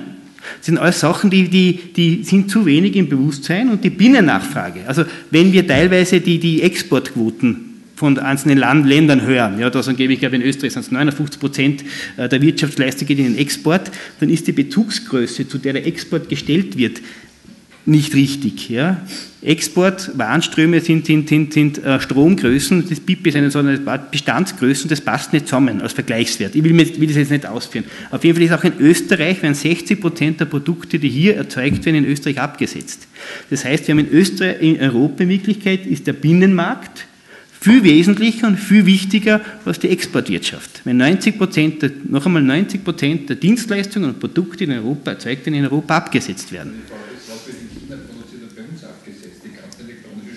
Ja, aber, aber das ist in Wirklichkeit dahingehend, also wenn so viel von dem, was in Europa produziert wird, in Europa abgesetzt wird und ich gleichzeitig in Europa keine Politik fahre, ja, dass in Wirklichkeit diese Form der Nachfrage gestärkt wird, sondern diese Form der Nachfrage zurückgeführt wird, dann ist das total kontraproduktiv. Also wenn ich in, in Europa keine offensive Mindestlohnpolitik auf europäischer Ebene betreibe, ja, die die Binnennachfrage nach europäischen Produkten steigt, wo auch, nicht, auch chinesische Produkte gekauft werden, ja soll so sein, ja, solange sie unter gewissen äh, Voraussetzungen produziert werden, dann ist das einfach für die europäische Wirtschaft kontraproduktiv. China ist bei weitem nicht so ein wichtiger Handelspartner wie Stichwort Frankreich beispielsweise. Wenn in Frankreich aber gespart wird und mir spricht der französische Markt weg, ist der chinesische Markt nicht derjenige, der mich abfangt. Das heißt, in Wirklichkeit ist die Politik, also spielen, spielen die Lohndifferenzen, und das hat es immer gegeben. In den letzten Jahrzehnten sind immer gewisse Industrien abgewandert, gewisse Industrien in Europa abgewandert, Bekleidungsindustrie beispielsweise von, von, von Deutschland, Österreich Richtung Portugal, Spanien, ja, die Portugiesen haben dann, die portugiesische äh, Bekleidungsindustrie ist dann auch, war dann nicht mehr konkurrenzfähiger mit, mit, mit, mit der asiatischen über weite Strecken. Das heißt, das passiert immer. Ein Strukturwandel ist man immer unterworfen. Aber so, ja, dass der Strukturwandel in, Öst, äh, in Europa, ja, oder dass das, was in Asien passiert, oder der, der Niedriglohnbereich in Asien oder die niedrigen Löhne in Asien, die europäische Industrie oder den Industriestandort Öster äh, Europa aushungern würden, so ist es schlichtweg nicht. Ja, weil, wie gesagt, die, der Handel in Europa, was die europäischen Produkte betrifft, vor allem in Europa stattfindet. Und zwar dominant in Europa stattfindet. Und das wird leider zu wenig betrachtet. Ich würde wirklich empfehlen, es gibt von der Arbeiterkammer eine sehr interessante Analyse, die äh, äh, herunterladen ist, wo genau das analysiert wird. Nämlich, wie schaut es wirklich mit dem Export aus? Ist Europa wirklich so exportorientiert in die Welt hinaus, wie man uns gerne weismachen will? Ja? Und eins darf man nicht vergessen, wir haben in Wirklichkeit in den asiatischen Ländern teilweise schon einen wahnsinnigen Aufholprozess, was einfach die, die, die Einkommenssituation dort betrifft. Ja? Und es ist ja nicht weniger relevant, wie niedrig die Löhne dort sind, sondern immer die Frage, in einem Verhältnis stehen die Löhne zur Produktivität. Und da ist Europa und seine europäischen Länder nach wie vor nicht so schlecht aufgestellt, weil sonst wären in Wirklichkeit alle schon drüben. Und die Länder mit dem höchsten Lohnniveau sind nicht unbedingt die Länder in Europa, die am meisten deindustrialisiert sind, sondern eher genau das Gegenteil ist der Fall. Also wie gesagt, ich glaube, auf die äh, Löhne spielen in Wirklichkeit eine relativ untergeordnete Rolle, wenn es um die Frage ist, wo lasse ich mich als Investor nieder. Menschenrechtswidrigkeit und äh, Koalitionsfreiheit. Naja, die Verträge sind ja so gestaltet, dass sie nicht per se die Koalitionsfreiheit angreifen, die ist formal gewahrt. Nur praktisch entzieht sie sozusagen äh, den gewerkschaftlichen Protestmaßnahmen den Boden, weil sie nicht mehr dem parlamentarischen oder politischen Gestaltungsspielraum unterliegen. Ja?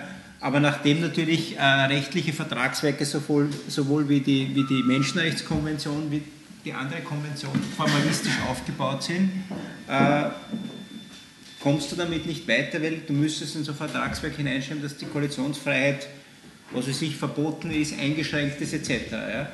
Aber ich sehe über die formalistische Vorgangsweise wenig Chance. Ich meine über die formalistische, ich glaube, das ist jetzt nicht ganz klar gekommen. Ja. Meines Erachtens kehrt juristische, also ich bin Juristin und mir ist klar, es ist ein Instrument. Mir klar, es ist nicht das Allheilmachende. Ich rede nur von diesem Instrument, weil von dem verstehen muss. Äh, was ich denke, es kehrt debattiert. Ähm, nicht formalistisch, sondern inhaltlich. Ich sehe nicht ein, warum zum Beispiel die Kommission, die all diese Vertragswerke nicht genauso diesen Rechten unterworfen sein soll, also der Menschenrechtskonvention, was sie formal nicht ist, weil ja. sie ist kein Staat. Ah, die EU ist der EMRK beigetreten. Was? Die, die mittlerweile der Europäischen Menschenrechtskonvention sogar beigetreten, die ja, Europäische Union formal. Ja. Und was ich will, ich hätte gerne, dass ich wahrscheinlich bin da vom EMRK eine andere Interpretation erreiche dass es eben, was eigentlich der Fall ist und was eigentlich der JMK bitte einzusehen hätte, dass das Koalitionsfreiheit in dem Fall nicht erst dann gefährdet ist, wenn man es dezidiert reinschreibt, weil wer ist schon so blöd, dass es dezidiert reinschreibt? Niemand. Das ist genauso wie mit der Diskriminierung, da gibt es eine unmittelbare Diskriminierung, geschlechtermäßig, indem man reinschreibt, wie Frauen drin ist, nicht so blöd ist heute auch keine mehr, oder eine mittelbare Diskriminierung und mit der wird gearbeitet und so, mhm. das erachte ich als mittelbare Verletzung der Menschenrechte, wo man denen die Basis nicht versteht. Ich verstehe dich, ich glaube sozusagen, ja, du hast politisch hundertprozentig recht, ich glaube nur, ja, ich sage nur, politisch gebe ich dir hundertprozentig recht, ich glaube nur, dass auf der rechtlich-formalistischen Ebene wir nicht weiterkommen, weil halt die EMRK etwas ganz Spezifisches im Fokus hat, jeder darf sich frei gewerkschaftlich organisieren und zusammenschließen. So, das greift die EU nicht an. Das Problem ist nur, ja, rein formal juristisch nicht, das ist das Problem. Aber das du kannst durchexerzieren. Ich glaube nur nicht, meine persönliche Meinung, du siehst es anders, dass man mit dem ans Ziel kommt. Ja? Ich bin mir nicht sicher, aber ich finde, ja. man soll es versuchen. Ja. Die griechischen Gewerkschaften sind schon bei der ILO. Also es, es, gibt von den griechischen, ja, es gibt von den griechischen Gewerkschaften gibt es aber schon dahingehend nur ganz kurz, gibt schon, da sind schon Prozesse ange, angedacht, ja, weil äh, eben genau diese Koalitionsfreiheit in Frage gestellt wird, weil quasi zu den Gewerkschaften Konkurrenzinstitutionen für Verhandlungsprozesse äh, Gut, das ist aber schon wieder weitergehend. Ja. Also das, ist, genau. das wird von der griechischen Wettbewerbsfähigkeit wird das ja so nicht vorsehen. Ja? ja der lässt nur praktisch ins Leere laufen, weil das Pensionssystem sozusagen durch den äh, Wettbewerbspakt diktiert wird, also dann inhaltlich eine Güte, ja. du kannst auf der Milferstraße demonstrieren und die österreichische Politik wird sagen, es steht halt im Vertragswerk. Gut, zweiter Punkt war die Korruptionsfrage. Ich finde das Korruptionsthema ein zutiefst linkes Thema. Ja, und ich bin froh, dass eher die progressiven Kräfte in Österreich hier die Deutungshoheit über die Korruption haben als die Rechte. Ja, das finde ich ein wahnsinniges Glück und das ist ein Unterschied zu den letzten 20 Jahren, weil vor 20 Jahren hat der Jörg Haider die Deutungshoheit über diese Themen gehabt und hat damit fulminante Wahlerfolge gefeiert. Der Strache hat die Bedeutungshoheit oder sozusagen das Thema komplett verloren. Ähm, und warum ist es ein linkes Thema? Es ist deswegen ein linkes Thema, weil äh, Korruption ja auch Korruptionsfolgekosten verursacht. Wenn du dir anschaust, das, die gesamte Hypo-Alpe-Adria-Desaster, ja, da werden vernichtet zwischen, je nach Schätzungen, 4 bis 20 Milliarden Euro. Ja. Das ist ja Wahnsinn. Ja. Ähm, aber auch alle anderen Themen, es ist vor allem nicht von den Grünen erfunden, äh, das Korruptionsthema, sondern das sind ja reale Gegebenheiten. Und ich finde, dass Korruption die Demokratie genauso schädigt, weil es das Vertrauen in die Demokratie schädigt. Insofern fände ich es falsch, wenn man sagt, man darf darüber nicht reden, weil dann das Vertrauen verloren geht. Das Vertrauen geht ohne das verloren, wenn es Korruptionsfälle gibt, der, glaube ich, offensiv aufgreifen. Wo ich grundsätzlich ein bisschen recht gebe in der Tonalität, muss man immer wieder aufpassen. Ja, natürlich, äh, Politik lädt zur Vereinfachung ein.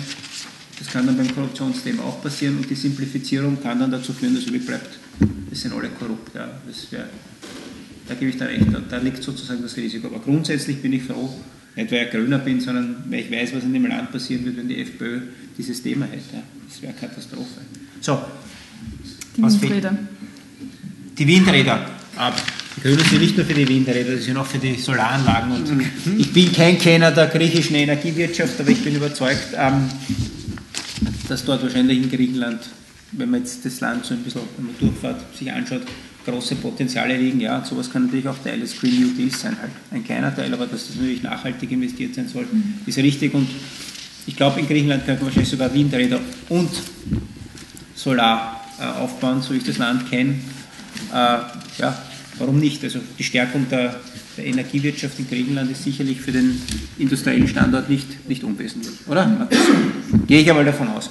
Äh, ja, wir kennen uns wenig in der griechischen Energiewirtschaft aus, aber ich, ich befürchte, dass die eher auf Kohle und, und Öl setzen. Füßmäßig, ja, so, so, wenn man das Land sich anschaut. Ähm, die schwierigste Frage, gut bezahlte Clownspolitiker, Job, Job hat ein bisschen was Clowneskes, aber lassen wir mal den Job, der sich selbst persifliert, außen vor. Äh, ich glaube, es ist extrem schwer zu beurteilen, warum Akteure so agieren, wie sie agieren. Es ist teilweise, glaube ich, eine, eine falsche Sachzwanglogik die manchmal um sich greift, plus politische Interessen, die halt von der anderen Seite formuliert werden. Und die Sozialdemokratie hat sich, finde ich, in den letzten 20 Jahren schlicht auf der falschen Seite positioniert, bekommt dafür auch die Rechnung bezahlt. Und noch tragischer finde ich dort, wie in Frankreich, wo sie bewusst, in Frankreich kann man ja sagen, hat die Krise im Prinzip das Blatt ja gewendet, politisch, von konservativ auf Sozialdemokratie. Dort, wo sie die Chance bekommt, kann sie es nicht nutzen. Ja, das das ist dramatisch, aber ich glaube nicht immer, dass es nur um gut bezahlt geht. Ich glaube, das ist komplexer. Ja. Ich würde jetzt sagen, wir machen noch eine Abschlussrunde, weil es ist schon sehr fortgeschrittene Zeit und man kann ja das danach auch alles besprechen. Ich habe mir für die Abschlussrunde, sind jetzt sicherlich auch noch andere Themen aufgepoppt, auf die ihr gerne eingehen könnt. Für das Abschlussstatement vor allem nochmal rückführend zum Eingangsstatement, äh, zum, zum Einladungstext ähm, ja, was soll man dann tun, damit die Gesellschaft oder die Herrschaft in Europa nicht autoritärer, nationalistischer, rassistischer wird und damit fortschrittliche Bewegungen gestärkt werden? Ich würde vorschlagen, wir machen eine kurze Abschlussrunde dazu. Ich ähm, würde gerne wieder da beginnen und hier dann. Naja, anknüpfend an den Herrn jetzt am Schluss. Also man sollte alles so tun, dass immer weniger Menschen die Welt so sehen wie Sie. Also das wäre, und da bin ich wieder bei dem Bildungsauftrag, äh, nicht äh, die bösen Kapitalisten bekämpfen, die die, die die Wettscheine verteilen und das gute, produktive Kapital beschützen oder vielleicht sogar Bündnisse eingehen gegen das böse Finanzkapital. Also äh, ja, das heißt Bildung, Aufklärung, Aufklärung. Ich selbst versuche das auch äh, in meiner Arbeit mit Jugendlichen und ich weiß schon, ich bin da sehr bescheiden äh, geworden sozusagen von der Weltrevolution zur, zur Pädagogik. Und äh, ich halte auch nichts davon, äh, dass man eben all, all diese Probleme sozusagen pädagogisiert, aber ich denke mal schon, äh, dass es wichtig ist, halt äh, ja, wieder Aufklärungsbewegung zu werden als Linke äh, und zu versuchen, halt eben eine meiner Meinung nach richtigere oder zumindest richtig, ja, richtigere Sicht der Wirklichkeit, auch der Krise, der ökonomischen Wirklichkeit von Herrschaft und Kapitalismus zu verbreiten, weil dann werden sich die Bedingungen zumindest für die Erfolge der Linken äh, verbessern. Das heißt nicht automatisch, dass sie erfolgreich sind. Mhm.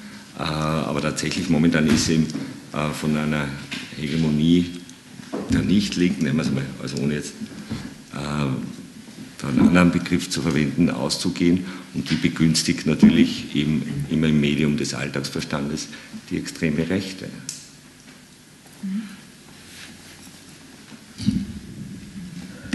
Ja, es ist schwierig jetzt äh, einzelne Punkte herauszugreifen. Ich denke, dass die Zähmung des Finanzkapitals in der Tat eine wichtige Sache wäre.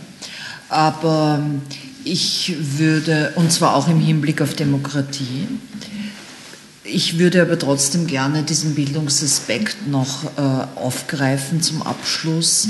Und ich sehe das insofern ein bisschen, ja, skeptischer, als ich denke, dass es eine ganz grundlegende Demokratisierung von Bildung bräuchte, von Bildung und von Wissen, weil das, was mit den großen Bildungsoffensiven quasi seit den 70er Jahren verbunden war, doch äh, ganz zentral eine Ausbreitung von betriebswirtschaftlicher Denkweise, von einer spezifischen ökonomischen Rationalität etc. bedeutet hat.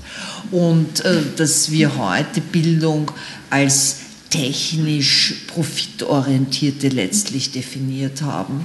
Also ich bin sehr sozusagen für die Bildung, aber ich denke, dass sie eine kritische und ganz anders ausgerichtete sein müsste. Und Voraussetzung, um eine solche zu bekommen, ist wohl Bildungsfragen auf eine breite, auf breiterer demokratischer Grundlage zu entscheiden.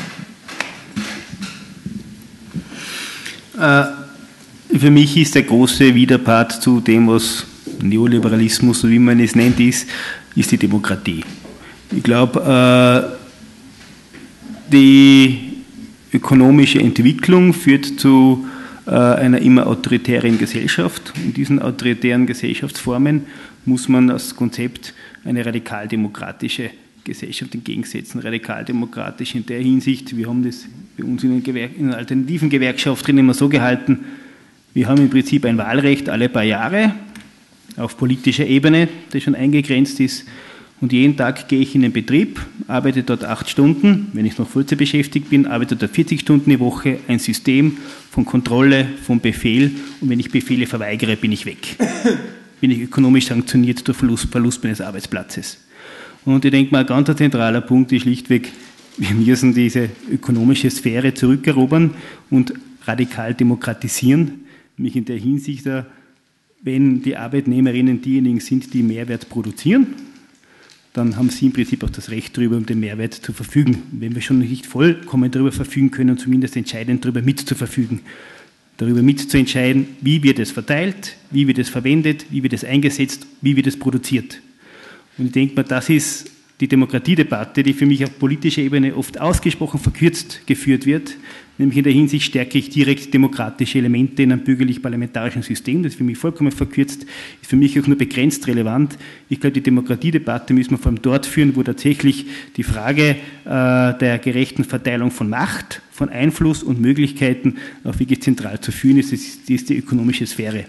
Und derzeit geht es für mich sehr stark auch darum, dass man jener Sphäre, die versucht, immer stärker entdemokratisierend zu wirken, über wirtschaftspolitische Mechanismen, über Automatismen, äh, was entgegensetzt. Und da möchte ich noch einmal ganz zentral darauf hinweisen, weil in diesem Wahlkampf die europäische Politik leider überhaupt kein Thema war. Im Dezember soll der EU-Wettbewerbspakt zumindest an über weite Strecken beschlossen oder vorbeschlossen werden. Ja. Und bis dorthin, glaube ich, sollten wir noch möglichst viel mobilisieren gegen diesen Wettbewerbspakt. Es gibt eine Möglichkeit, die heißt, Europa geht anders, wo dagegen unterschrieben werden kann. Auf einer anderen Ebene geht es wirklich auch im Rahmen von Bildungspolitik darauf hinzuweisen, wohin uns dieser ruinöse Wettbewerbsnationalismus führt, wohin uns diese ruinöse Standortpolitik äh, führt und wem sie nützt und wem sie schadet, institutionell, strukturell. Daran anschließend, ich finde es spannend, dass die Krise im Wahlkampf praktisch überhaupt kaum eine Rolle spielt. Ja? Oder Krisenbewältigung oder Krisenstrategien. Das, jetzt kann man sagen, der ganze Wahlkampf hat kein großes Thema. Und so wie, wie, die ritualisierten Auseinandersetzungen angelegt sind, ist auch kein Platz. Aber ich finde es einigermaßen verwunderlich, hätte man mich vor ein, zwei Jahren gefragt, hätte ich gesagt, die große Frage der Wahlauseinandersetzung wird sein, wer hat die Antworten auf die Krise und kann, kann etwas anbieten. Also offensichtlich nicht der Fall. Ist schade. Zweitens äh, schließe ich mich an, ähm, Bildung und Demokratie. Äh, zwei Fragen und will einen dritten Aspekt einbringen, der sozusagen jetzt an linke Politik plädiert oder linke Politiker äh, plädiert. Keine falschen Kompromisse bei der Deutung der Krise.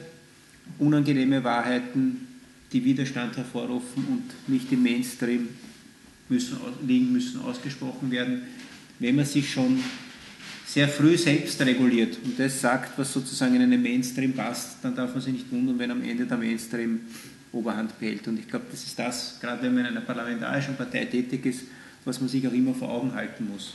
Ja, in, in, einer parlamentarischen Partei ist mal in einer gewissen Sachzwanglogik drin, man setzt Maßnahmen etc.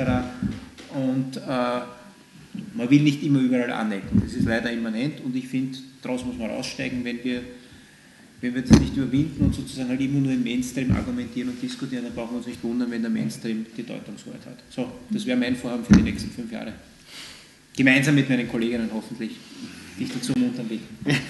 Okay, ein grünes Abschlussstatement bei einer grünen Podiumsdiskussion und ja, danke für eure Aufmerksamkeit und einen schönen Abend noch.